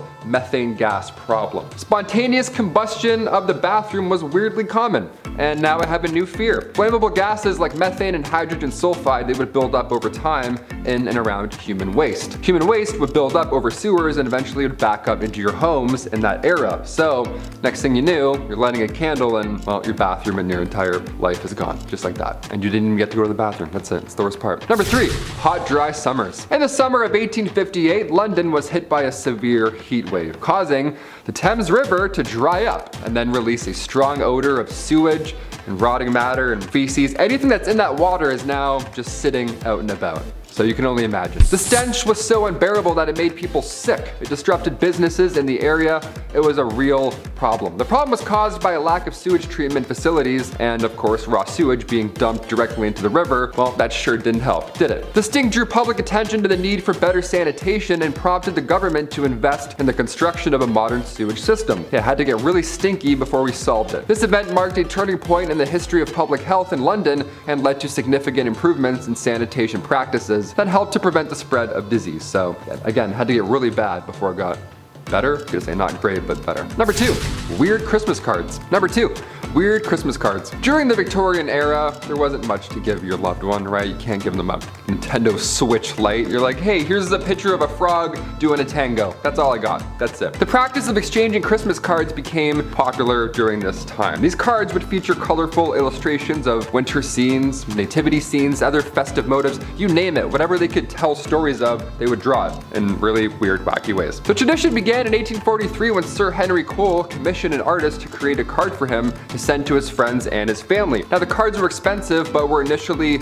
only affordable for those wealthy folk. But as printing technology improved, they became more widely available. So score, now you get to tell your loved ones how you actually feel with a wacky guy playing a tambourine. Victorian Christmas cards often featured sentimental messages and elaborate designs, and they became an important part of the holiday season, where we get it from today. All that pressure to write a little something something comes from that era. Today, vintage Victorian Christmas cards are highly collectible and are appreciated for their beautiful artwork. Beautiful, I guess, art is subjective. And its historical significance is rather amazing. I don't know. If you have one of these, don't throw them out. Don't make fun of them. Just frame it and then sell it for a million dollars in like 10 years. There you go. And finally, number one, beauty patches. In the Victorian era, beauty patches were a popular trend among women of high society. They were these small black patches that were applied to the face as a way to accentuate certain features and draw attention to the wearer, the pale Victorian complexion. The patches were made of silk or velvet and were often cut into fun shapes like hearts, stars, or crescent moons, right? It's like the scene kids back then. They're like, mm. they were typically worn on the cheek, forehead, or around the mouth. You can get creative, right? It's your face have at her. Beauty patches were also believed to have medicinal purposes, with some claiming they could cure headaches or improve one's complexion. Both absolutely false, no medical science around that. Despite their popularity, beauty patches were eventually, sadly, phased out of fashion by the early 20th century. Starting off this list, in our number 10 spot, we have the Tichborne case. This was quite a bizarre legal case that captivated Victorian England in the 1860s and 1870s. It involved a claimant named Arthur Orton, who alleged that he was was the long lost heir to the Tichborne baronetcy. Despite numerous inconsistencies in his story, Arthur managed to convince some members of the Tichborne family and a significant portion of the public that he was who he claimed to be. The case went to trial in 1873 and it became a media sensation with thousands of people lining up outside the courthouse to catch a glimpse of the proceedings. This was basically like the Victorian era's OJ trial or the Johnny Depp and Amber Heard trial, you know? The people wanted to know. Despite Arthur's conviction for perjury, the case continued to fascinate the public for years to come, and it became a symbol of the era's fascination with sensationalism and fraud. The Tichborne case remains one of the most infamous legal cases in British history, and is a cautionary tale about the dangers of believing in something without sufficient evidence. In our number 9 spot today we have the London beer flood. This sounds like it would be quite a fun time, but it was anything but that and instead was a tragic event that occurred occurred on October 17, 1814 in the St Giles district of London. At the Meux and Company Brewery, a massive vat containing over 135,000 gallons of beer suddenly ruptured, causing a wave of beer to flood the surrounding streets. The torrent of beer destroyed several nearby houses, killing 8 people and injuring many others. The flood was so powerful that it even knocked down the wall of a nearby pub, trapping and killing some of the patrons inside. The London beer flood was caused by a combination combination of factors including poor construction of the vat and overfilling it with beer. The brewery had a history of safety concerns and many of the workers were aware of the dangers associated with working there. Despite this, the brewery continued to operate and tragedy struck. The incident became the subject of much media attention at the time and it continues to be remembered today as a tragic and bizarre event in London's history. The victims of the flood were commemorated with a plaque on the site of the former brewery and the incident has been the subject of numerous articles articles, books, and even a stage play. Not sure the logistics of that one though. In our number 8 spot today we have the Victorian bicycle craze. This is a name to refer to a period of intense enthusiasm for bicycles that swept across Europe and North America in the late 19th century. The introduction of the safety bicycle with its chain driven mechanism and rubber tires made cycling a much more accessible activity for the general public. It became a popular mode of transportation and leisure activity, particularly among the middle middle and upper classes. The craze also had a significant impact on fashion, with women's clothing becoming more practical and comfortable to allow for cycling. It's funny to think of now because like it's just a bike, but at the time it was so much more than that. It's like how smartphones completely changed our lives in more ways than we probably even know. That's basically what the bike was like in the Victorian era. The bicycle craze had a profound impact on society and culture at the time. It led to the development of new industries such as cycling clubs, and it also paved the way for the modern transportation industry. The bicycle became a symbol of freedom and empowerment, particularly for women who were able to travel further and faster than ever before. The Victorian bicycle craze remains an important cultural and historical phenomenon that changed the way people lived, worked, and played. In our number 7 spot today we have the Crimean War. The Crimean War was a conflict fought between 1853 and 1856, primarily involving Russia and an alliance of France, Britain, the Ottoman Empire, and Sardinia. The war was fought over various territorial and religious disputes, particularly regarding the rights of Christians in the Ottoman Empire. The war was marked by high casualties, particularly from disease and poor medical care, and it is often seen as a turning point in military medicine. The war also also featured some of the first extensive use of modern technologies such as telegraphs and railways, which greatly impacted warfare in the future. The war ended in a victory for the Allied forces, and it resulted in a significant shakeup of the balance of power in Europe. It also demonstrated the need for improved communication, organization, and medical care in military conflicts, and it had significant long-term impacts on military and political strategies in Europe,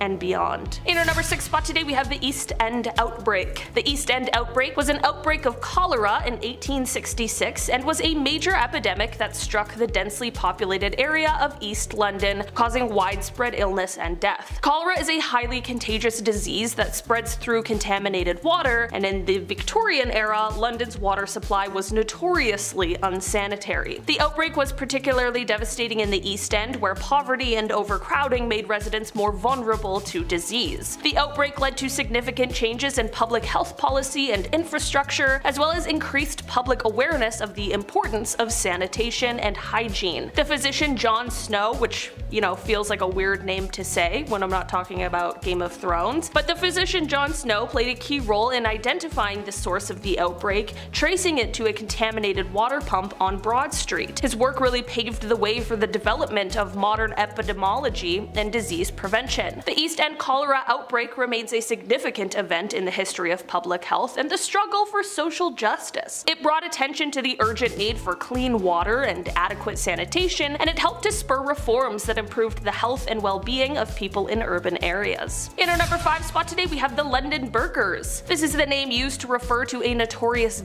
of body snatchers who operated in London in the early 19th century. They were involved in the illegal trade of selling corpses to medical schools for dissection and study, and they would often resort to killings to obtain the bodies. The most infamous member of the gang was William Burke, who, along with his partner William Hare, committed a series of killings in Edinburgh, Scotland in 1828. They sold the corpses to the anatomist Robert Knox, who was unaware of their methods. Two of the group's members, John Bishop and Thomas Williams, were convicted of killings and sentenced to death. The London Burker scandal highlighted the demand for fresh corpses for medical research and contributed to the passage of the Anatomy Act of 1832, which allowed for the legal procurement of corpses for medical purposes. Emphasis on the legal part of that, though important. In our number 4 spot today we have the Great Stink of London. The Great Stink of London was an environmental disaster that occurred in the summer of 1858. It was caused by the city's inadequate sewage system which allowed raw sewage and waste to be dumped directly into the River Thames. The hot weather only exacerbated the problem, which is disgusting, and it caused the sewage to ferment and emit a foul odor that permeated the city. The smell was so overwhelming that it caused widespread illness and forced many people to flee the city. Parliament was forced to act, and a major engineering project was launched to build a modern sewage system for London. This project was led by engineer Joseph Bazalgette, who designed a system of sewers and pumping stations that would carry sewage out of the city and into the Thames estuary. The construction of the new sewage system was a massive undertaking involving the excavation of miles of tunnels and the construction of large pumping stations. It took several years to complete, but once it was finished, it greatly improved the health and hygiene of the city. The Great Stink was a turning point in the history of public health, and it helped to spur major improvements in sanitation and public health infrastructure across the developed world. Today, the legacy of the Great Stink lives on in the modern sewer systems and wastewater treatment facilities that are really essential for maintaining public health and environmental quality. In our number 3 spot today we have Typhoid Mary. The Typhoid Mary case is a famous incident in the history of public health in the United States. Mary Mallon, also known as Typhoid Mary, was an asymptomatic carrier of the bacteria that causes typhoid fever, a potentially fatal disease. Despite being unaware of her condition, Mary inadvertently infected numerous people during her work as a cook in New York City in the early 1900s. After a number of typhoid outbreaks were traced back to Mary's cooking, she was tracked down and forcibly quarantined for several years. The case generated significant controversy at the time, with some arguing that Mary's civil rights had been violated and others maintaining that public safety justified her isolation. The Typhoid Mary case remains significant for its implications for public health policy and for the balance between individual rights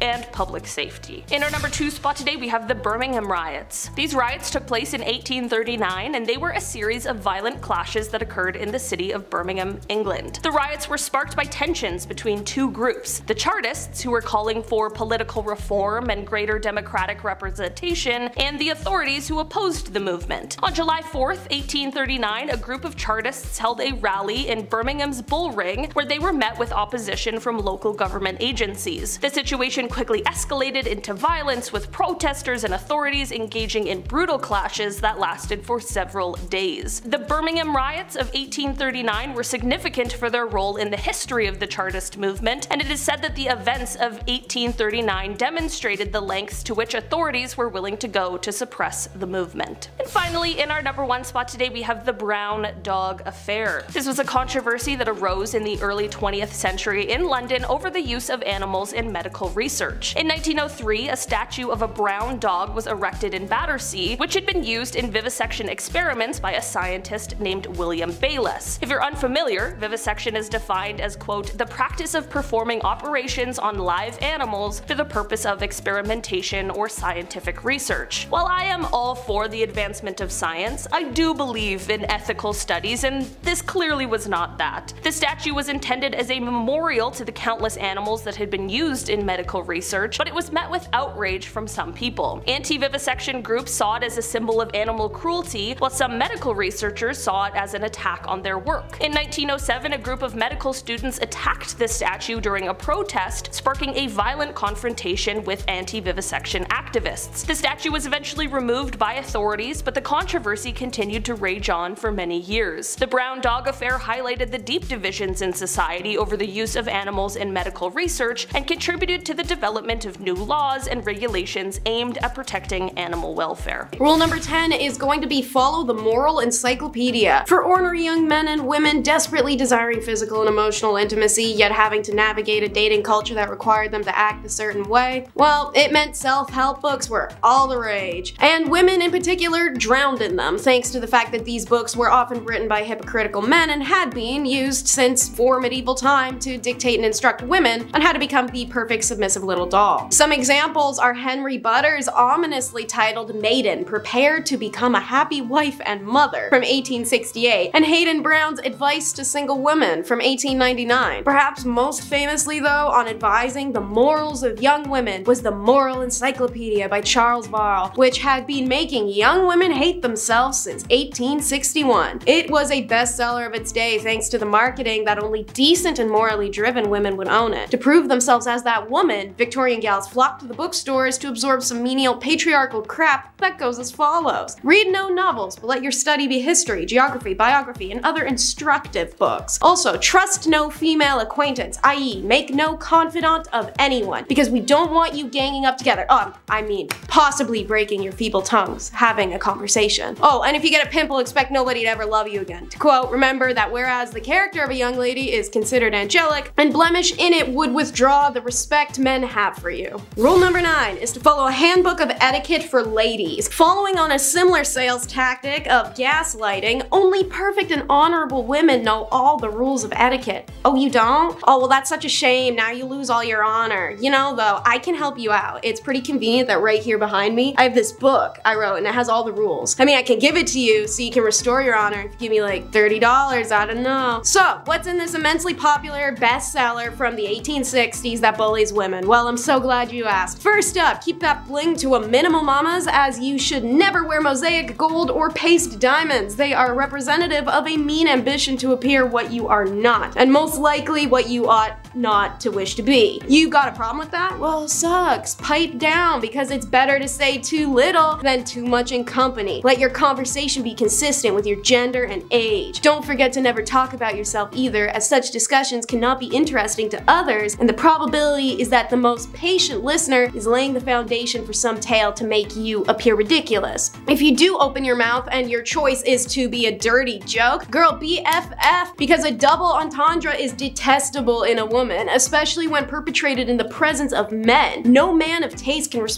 any woman who's guilty of it. Oh, my personal favorite. Did you break something while a guest in someone else's house? Nah. As a lady, you can't do that. It's not possible. Pretend like nothing ever happened. Don't own up to it and gaslight your host. If at another's house, should you break anything, do not appear to notice it. Your hostess, if a lady, would take no notice of the calamity, nor say, as is sometimes done by ill-bred persons, oh, it is of no consequence. Rule number eight is having a dress for all occasions. Should you not? Well, that's not proper etiquette. As a middle or upper middle class Victorian woman, your job was to spend your day like a brat's doll, changing every few hours. This is because of the strict etiquette of the time, which dictated that certain dresses were for certain activities, which meant you had to plan your errands around your outfit changes that made it possible for you to run your errands. Isn't that fun? Women would start with the morning time dress, which was relatively comfortable by Victorian standards. However, for us, it would still feel like wearing an iron reinforced tube sock on our entire body. It was simpler in appearance and designed for only the home. Want to take a stroll in the park? Out of the morning dress and into the walking dress. The skirts are shorter by several inches and didn't have a train, so they weren't dragging a leaf pile behind them as they went. The materials were usually rich in color and pattern to be admired amongst the greenery. When women returned home from their daily walk, they would change into dress number three, or the afternoon dress for receiving visitors or visiting others. The skirts had a longer train and the neckline was usually a little lower. After some visiting time, dress number four gets whipped out for dinner, and it was the most formal of all casual dresses. Usually silks, satins, velvets, exactly the type of precious material you want to spill food on. Ball gowns weren't for regular wear, but they were required for fancy occasions, so you had to own them too. Rule number seven is to mourn properly. Another dress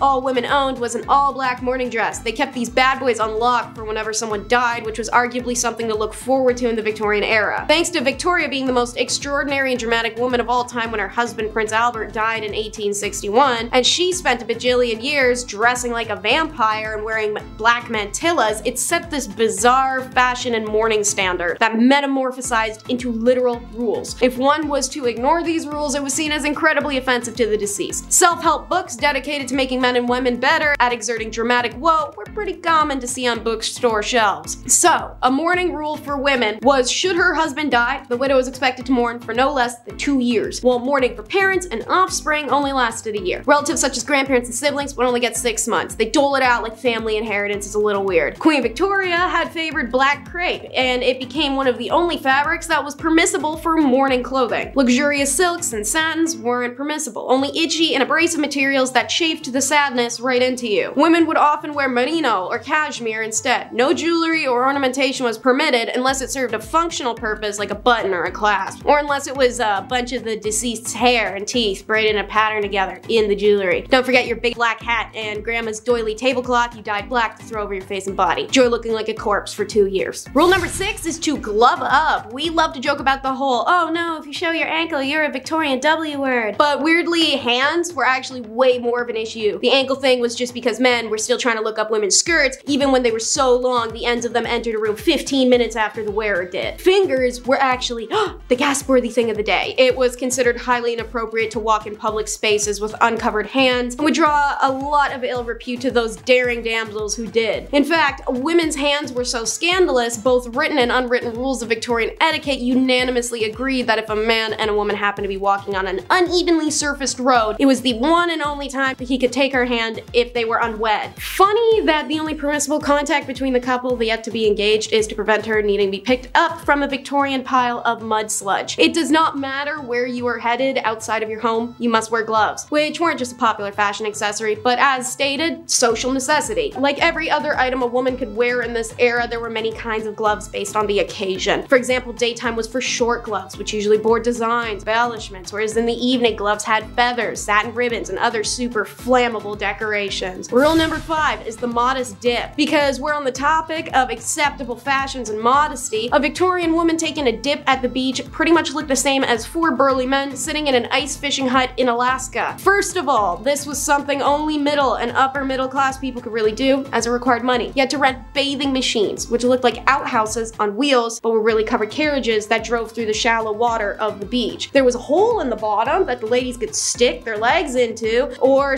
sometimes submerge their whole body, but that was ill-advised. Not because the water was filthy, which it was, and riddled with corpses and poison to boot, but because creeps could come swimming up and see your bare legs. Can't afford the traveling outhouse? Well, no beach for you. Rule number four is wife sales, a real legal way to obtain a divorce in stuffy Christianized England. Divorce was unpopular, detested, and openly deterred in those days. Seeing as you were discouraged from intercourse with your partner, married them when you barely knew them, and could barely spend time alone with one another, it was a pretty popular request. You would have to sit listening to the clock tick and his nose being clogged but him not blowing it for the 444th night in a row while you disassociate staring into a fireplace. What the hell did people expect? Of course you want out. You don't even know his middle name. Attaining a divorce in the early 1900s was an expensive undertaking, however. So those who couldn't afford the legal fees sometimes sold their wives to the highest bidder. It was often done with the full consent of the wife, who was usually bought by her family, a new lover, or a female friend. It was an amicable way to say, this was a mistake, get out of my house, good luck and prosper. Rule number three is no flirting. As stated, you were really not supposed to flirt, and flirting to the Victorians included eye contact, talking to one another, looking at another person, breathing their air, knowing their name. Maybe the last one is dramatic, but you get my point. You wanted someone, you had to wait until you met them four or five times, then you could look at them, run into them a couple more times, then maybe request a dance at a ball, and you get one of those a couple times, then maybe you get a sit down chaperone visit, maybe a walk in the park, and a couple more ball dances. Then you can propose. But even then, a Victorian maiden cannot be trusted alone with her fiance lest her dainty, fluttering hand rest on the arm of her intended and cause an outburst that would inflame the fiance's uncontrollable base lusts. Even after progressing through several stages of acceptable dating, aka the ball dancing, talking, walking together at a distance, if a man was invited to the woman's home, their acquaintanceship would still have to be under the watchful eye of a chaperone. Single women were never to indulge in behavior with a man that might lead to being kissed or handled in any way. This included strict inspection rules, because I kid you not, men were encouraged to inspect a woman back then. Like many of the stipulations that that accompany shipping procedures. How romantic. If a man wanted to admire a necklace, the woman would have to remove it, hand it over for inspection. Under no circumstances was the item to be inspected while she wore it. Now I know where that flirting tactic came from because guys, Y'all love that whole jewelry admiring flirt and it isn't subtle. And of course, during the chance encounters in one's club or in the park, staring boldly at someone you knew without acknowledging him or her, known as cutting, was the ultimate display of bad flirting manners in Victorian times. Guess they didn't like them bold back then. Rule number two is coming out.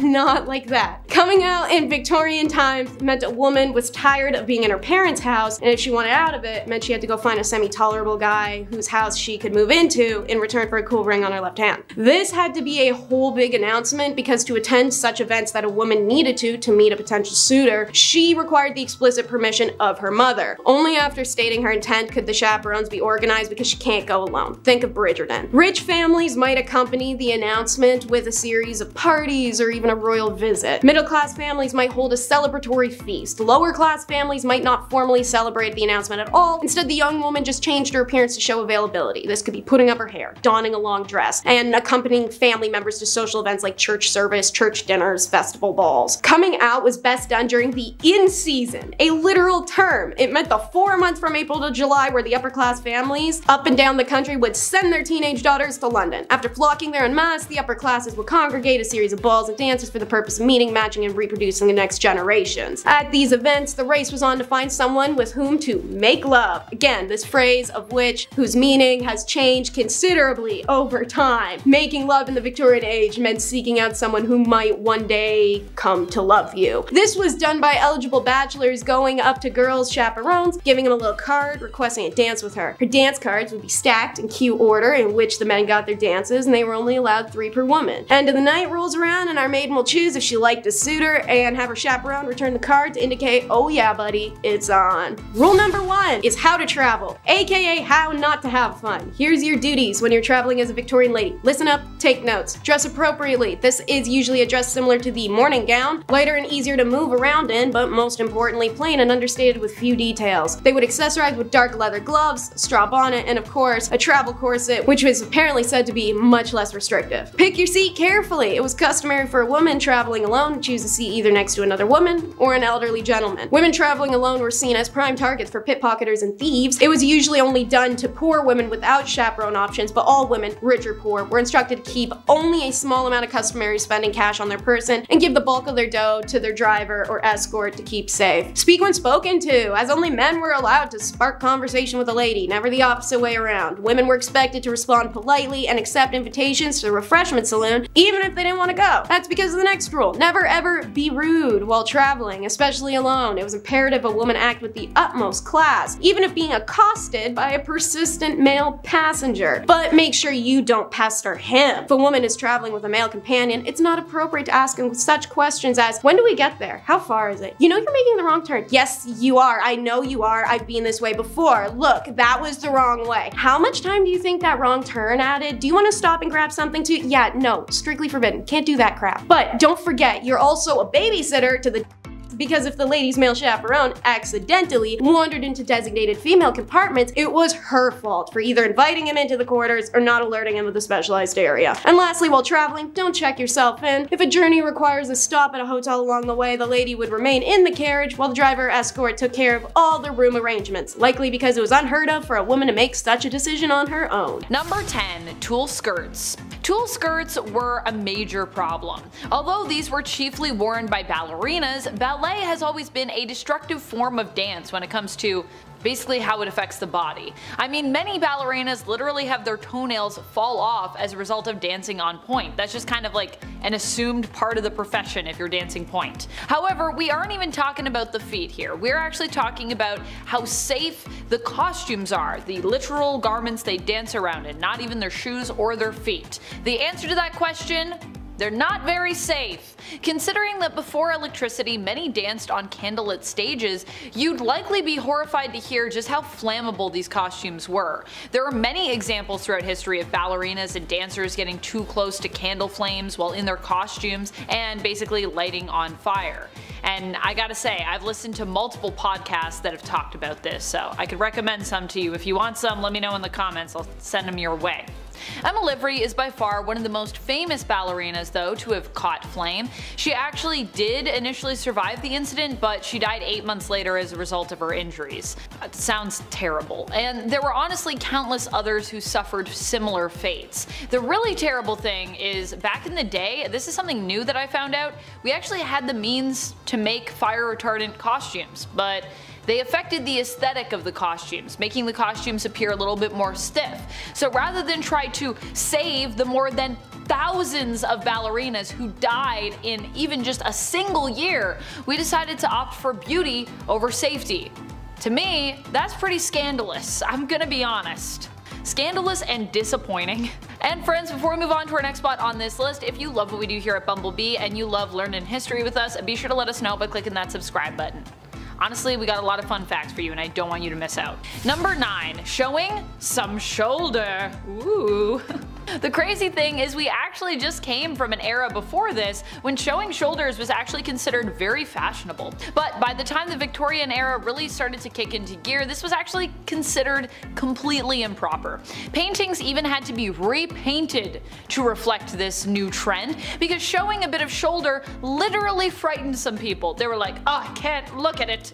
Repaint that painting. Cover those shoulders up. not joking, that's a real thing. And don't even get me started on cleavage. Shoulders were previously considered to be something beautifully showcased from gowns that had both lower and wider necklines. This was considered beautiful and sexy in a good way. But with puritanical views taking over, anything considered too beautiful and definitely anything considered sexy would be seen as bad and sinful. So we had to cover those shoulders up. Man, if I traveled back to the Victorian era right now, they'd be like, girl, what you doing with those shoulders? Sorry.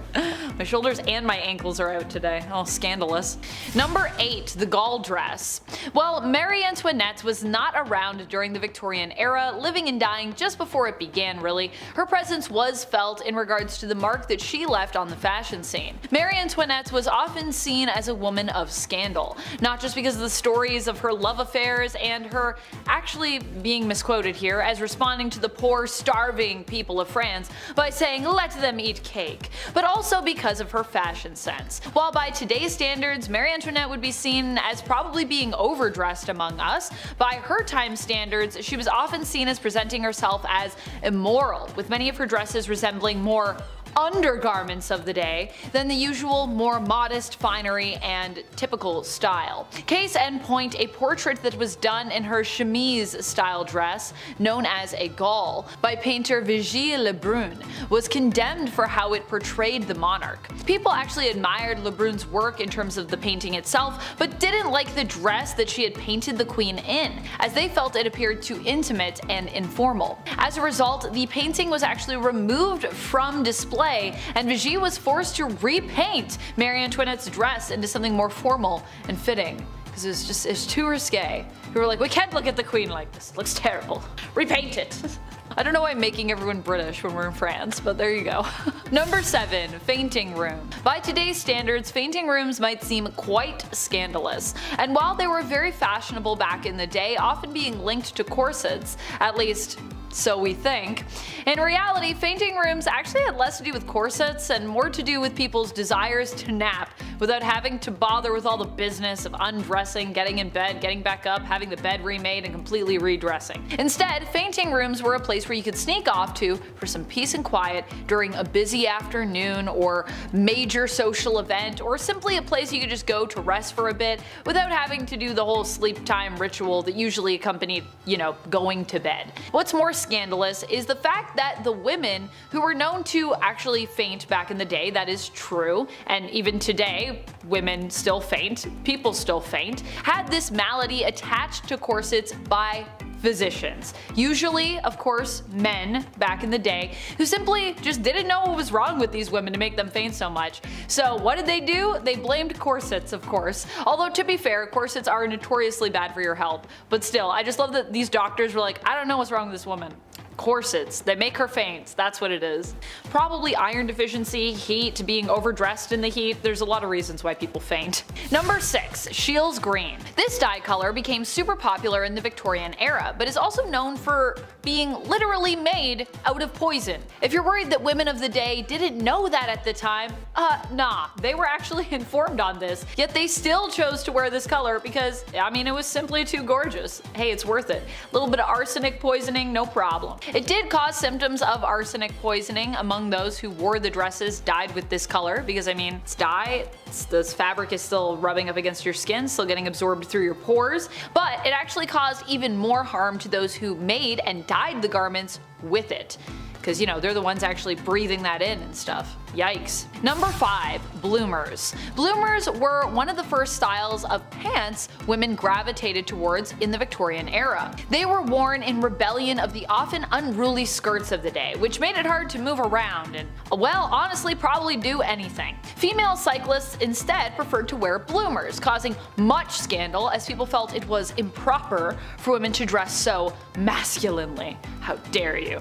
Basically, bloomers are like more floofy pants pants is how I would describe them, and people felt that pants should be reserved for men to wear. Even the floofy ones. They were like, women can't have any pants, not even floofy pants. I gotta say, I would totally rock some Victorian era bloomers and be causing all the scandals myself if I were around back then. They definitely look more comfy than pretty much almost everything else women were wearing. The bloomers got their name from a prominent American feminist of the time, Amelia Bloomer, though she herself did not invent them, but she was a person that basically spoke out and was like, why can't women wear pants? Although Amelia Bloomer did fight hard for women's rights, she herself is not someone I believe we should just straight up glorify to be clear. She also said some pretty terrible things about Native Americans, and she also seemed to be content with civilians taking the law into their own hands and literally hanging people deemed undesirable in their community. So it's a big yikes from me. Number 4. Corset. Corsets didn't originate in the Victorian era, but they definitely became iconic in regards to the fashion of that time period. That's because slim waists, they came back into fashion, baby. They also became iconic for the fact that they were causing great damage to the people wearing them. Well, I too do love to don a corset from time to time. It is important to make sure that you don't push it when you're wearing them, and it's important to remember that this extreme form of shapewear literally has a history of moving people's insides around as a result of wearing them daily or even just regularly. Honestly, even me wearing it every now and then is not good for you. Just corsets aren't good for you. So even just wearing a corset, you know, every now and then, it's not good probably shouldn't do it. I probably shouldn't do it, but am I gonna do it? Yeah, probably. And even back in the Victorian era when they were trending again, we knew that corsets were bad for you. And it made this item quite the risque one despite it at the time being coveted and widely used by many out there. That was actually like even a topic back then. People were like, should people be wearing these? This seems dangerous. Number 3. Flashing. Some ankle! can't see it on camera, I can't show it to you because it'd be too scandalous. So scandalous. As silly as this sounds now, especially with it being summer right now, as I'm talking about this, a time when being underdressed is really just being comfortable.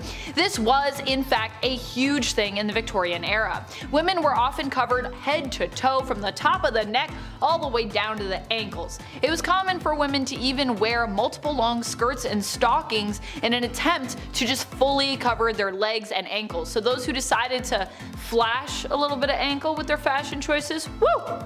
They were considered quite risque. Number 2. Hoop skirts. As deadly as they were definitely fashionable during part of the Victorian era. The hoop skirt, also known as caged crinoline, was a type of skirt that was built like a cage. There's various different ones which were made out of different materials, but the idea is it's literally a big hoop cage that you wear and then you put a dress over top of that, or a skirt over top of that. The idea was to add volume to the bottom of your outfit, which would also help to make your waist look even slimmer. Something that was very fashionable back in the day and something still coveted by many in regards to modern beauty standards today. Hoop skirts though were deadly because you would often misjudge the size of your skirt, which could cause all kinds of accidents. Also, many of the materials used to build the hoop skirts and dresses that went over top were very flammable. Many people died from catching fire or getting their skirts caught in machinery or even carriage wheels. So yeah, don't wear a hoop skirt if you have to do anything or be, be near flames or just be alive in the Victorian era because there were open flames like everywhere. number one, the One Piece. I like that I saved this one for number one. I didn't realize I was doing that, but I knew subconsciously. The one piece swimsuit created quite the controversy when it, it, came into fashion near the end of the Victorian era, and the really wild thing is it initially pretty much covered almost like your entire body. But, and it's a big but for this era, it was very fitted. So because it hugged the body, as swimwear really should do so that you can, you know, actually swim, it was considered to be quite scandalous. Not only that, but of course the One Piece also wanted to maintain your modesty by not having your skirt float up in the water around you, giving everyone potentially a free show. So it was fashioned to be pants, you know? Oh boy, a woman in pants without a skirt? Scandalous scandalous. How dare, how dare these women try to swim?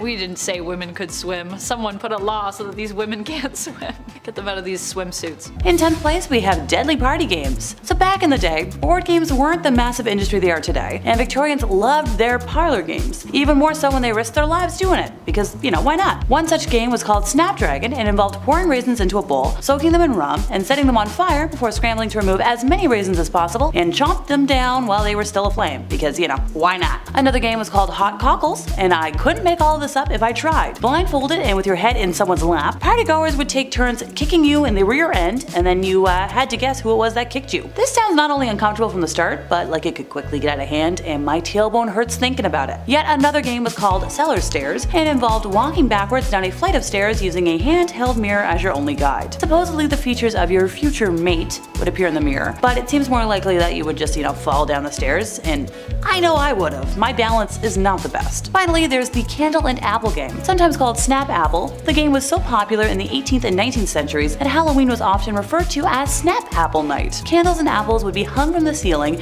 and the goal is to get a bite of the apple without consuming any wax or getting burned. As a former altar girl who used to play with wax, youch! I can't imagine just how much that would hurt my face. Also, I think I found where uh, Ready or Not got its inspiration. In ninth place, we have hats made from taxidermied birds. Not gonna lie, I'm not the biggest fan of taxidermy, even though I have a friend who has a museum in his home that has more than a few pieces. Granted, he mostly focuses on albino taxidermy. But hey, to each their own. What began as a few plumes from herons, jays, and you know pheasants tucked into the brims of headwear became a wildly popular trend which the fashion industry capitalized on by going to the extreme, adding entire taxidermy birds to very tall hats as well as stuffed hummingbirds to decorative hand fans. According to the Victorianist, millinery fashion took a truly bizarre turn in the 1880s when hat crowns grew tall, offering a generous display area for, in the most extreme examples, an extraordinary array of animals including cats and squirrels. I don't even want to imagine the amount of flies that would be circling, you know, around hats that was still a trend in today's world. How warm things are thanks to global warming. Also, I worry for neck health since I doubt those hats were very light, and as someone who has worn a couple of very heavy wigs in my lifetime, they tend to take a toll. In eighth place, we have Victorian death photographs. So photographs of loved ones taken after they died may seem kind of morbid by today's standards, but in Victorian England, they were a way of commemorating the dead and blunting the sharpness of grief. Remember, unless you were rich enough to have a painting commissioned, there really wasn't a way to preserve visual proof that someone existed and how they looked for future generations. In images that are both unsettling and strangely, you know, fitting, families poise with the dead, and consumptive young ladies elegantly recline, the disease not only taking their life, but, you know, increasing their beauty. Victorian life was full of death. Epidemics such as diphtheria, typhus, and cholera scarred the country, and from 1861 onwards, the bereaved queen made mourning fashionable. Trinkets of memento mori, meaning remember you must die, took several forms and existed long before Victorian times. Long exposures when taking photographs meant that the dead were often seen more sharply than the slightly blurred living, because of their lack of movement. On some occasions, eyes would be painted onto the photograph after it was developed, which was meant to make the deceased more lifelike, while other times death was a lot more obvious. Locks of hair cut from the dead were arranged and worn in lockets and rings. Death masks were created in wax, and the images and symbols of death appeared in paintings and sculptures. But in the mid 1800s, photography was becoming increasingly popular and affordable, leading to memento mori photographic portraiture. Try saying that five times fast. The first successful form of photography, the daguerreotype, was an expensive luxury, but not nearly as costly as having a portrait painted, which, like I said before, that was the only way you could do it first. As the number of photographers increased, the cost of daguerreotypes fell. Less costly procedures were introduced in the 1850s, such as using thin metal, glass, or paper rather than silver. Pricey, pricey silver. In seventh place, we have uses for arsenic. Pardon me, uses other than ending lives. But, you know, that also makes me want to consider a top 10 creative ways to dispose of people. Worth a ponder. Arsenic invaded almost every aspect of life in 19th century Britain, leaving a toll of death and illness. A byproduct of an emerging smelting industry, arsenic was cheap and readily available as rat killer by uh, the early 1800s. It was also odorless and tasteless, and easily confused with flour or sugar or other cooking essentials. By the mid 1830s, morbid descriptions of death from arsenic terrified the public and became a staple of the British popular press. But most of the fatalities from arsenic were more pedestrian, from accidental use in food or from exposure to arsenical compounds in consumer goods such as fabric dyes and wallpapers, in facilities that made these products, and in the polluted air. Arsenic was used even in medications to treat everything from asthma and cancer to reduce libido and skin problems. Now, Victorians were just as obsessed with their bodies as we are, if not more dangerously. Many women used arsenic to fight wrinkles, and men swallowed arsenic tablets as kind of a pre-Pfizer Viagra. It's unclear if arsenic can actually be used to um, turn compasses to true north, but it doesn't seem advisable to try it. I feel like there are much safer ways to get a uh, motor running if you will. In sixth place, we have wasp waists. We all know that corsets were a thing in the Victorian era, but they were much more extreme than most people might think. Many women cinched themselves down until they had very tiny wasp waists. With super snug corsets that didn't just rearrange your insides, they made it impossible to breathe. Now, before anyone starts calling all corsets or stays awful to wear. They're only bad for your health if you're trying to accomplish the above improperly. As a gal who corsets often for fashion and posture purposes, I've only ever experienced discomfort when they weren't properly fitted, like when, or when I was wearing them for too long, or when I was wearing the combination of a too small steel-boned one outdoors in the cold for too long. But this is a do as I say and not as I do kind of situation, since that was like a one-time thing and my ribs have very much learned their lesson. Long story short, corsets are not bad, you just have to wear them properly. You trust me, right? In fifth place, we have grave robbing. Now, my first thought when I said that just now was Grave Robber the character, which only goes to show how much Repo the Genetic Opera has rotted my brain. One of the most lucrative side hustles of the Victorian era was grave robbing, and the fresher the corpse, the better. Medical students needed cadavers to study, so a black market of corpses arose, enriching adventurous thieves and uh, angering families of the dearly departed. The 19th century was also a fertile age of exploration, one of the most impressive discoveries were ancient mummies that the people of Victorian England brought home from Egyptian vacations. They'd invite all of their friends over for unwrapping parties, which tended to be rather grim spectacles, that nevertheless delighted the morbid weirdos. Look, while I don't condone it, I wouldn't mind time traveling back to be a fly on the wall at those parties, since I definitely classify myself as a morbid weirdo. At one notable gathering for the unwrapping of Neskhons, the second wife of Theban high priest Pinedjem II was placed in a contraption that made her appear to dance. The demand for mummies to take home was so high that Egyptians started transporting them from less visited ruins to areas that had a lot more traffic. Hey, whatever helps the economy. In fourth place, we have garden hermits. So the next time somebody shows off their garden to you, make sure to ask where they keep their hermit. And if they don't have one, make sure to comment on how undignified it is. In the Victorian era, wealthy families hired people to don full hermit garb, complete with robes, long hair, beards, and hermit glasses, and live as an ornamental garden hermit on their land. The biggest rule of all though? No speaking to anyone on the property. And honestly, sounds like a dream job to me. Ugh, being paid in-house to not speak to anyone and just be like a silly little decoration feature? Sounds like upgraded background work, and I will totally take it. Granted, that's if someone wants like a spooky ooky gothic garden feature. I'm all yours. In third place, we have shock treatment. No, I'm not talking about the cursed as all get out sequel to Rocky Horror, but more people should be. I've only watched it once, but it does have some bops for sure. In the 19th century, Victorians thought electrotherapy could fix everything from gout to muscle problems. All you had to do was pay your local electrotherapist who shocked the problem area, but really all it did was leave a lot of people with icky scars. In more modern times though, it has been refined to work well for muscle issues, but uh, wasn't always that way. In second place, we have weird face masks. Patented in 1875, Madame Rowley's face mask was strapped to a woman's head overnight, three nights per week.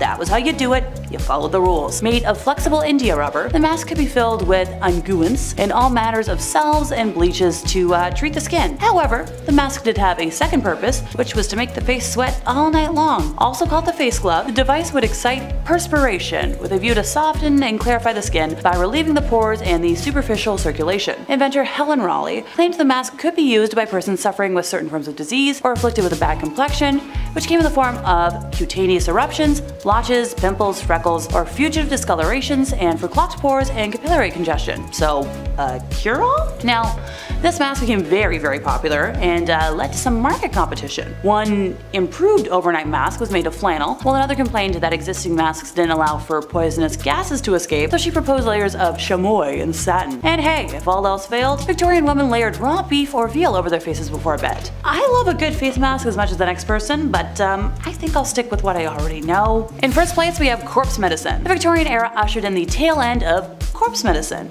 which was the practice of ingesting different parts of the human body to cure various ailments. One popular drink to cure apoplexy mixed powdered human skull and chocolate, while the most coveted remedy mixed skull with uh, booze. To each their own. By the 19th century, most doctors had uh, moved away from this barbarous practice, but medical texts and cookbooks that explained you know how to best prepare a body part suggested that it was far from uh, dead. To get fresh supplies, people often went to an executioner rather than a pharmacist, paying good money for the freshest of fresh products as recommended by a doctor that was shockingly not accused of being a vampire. I even found a recipe for uh, red fluid marmalade.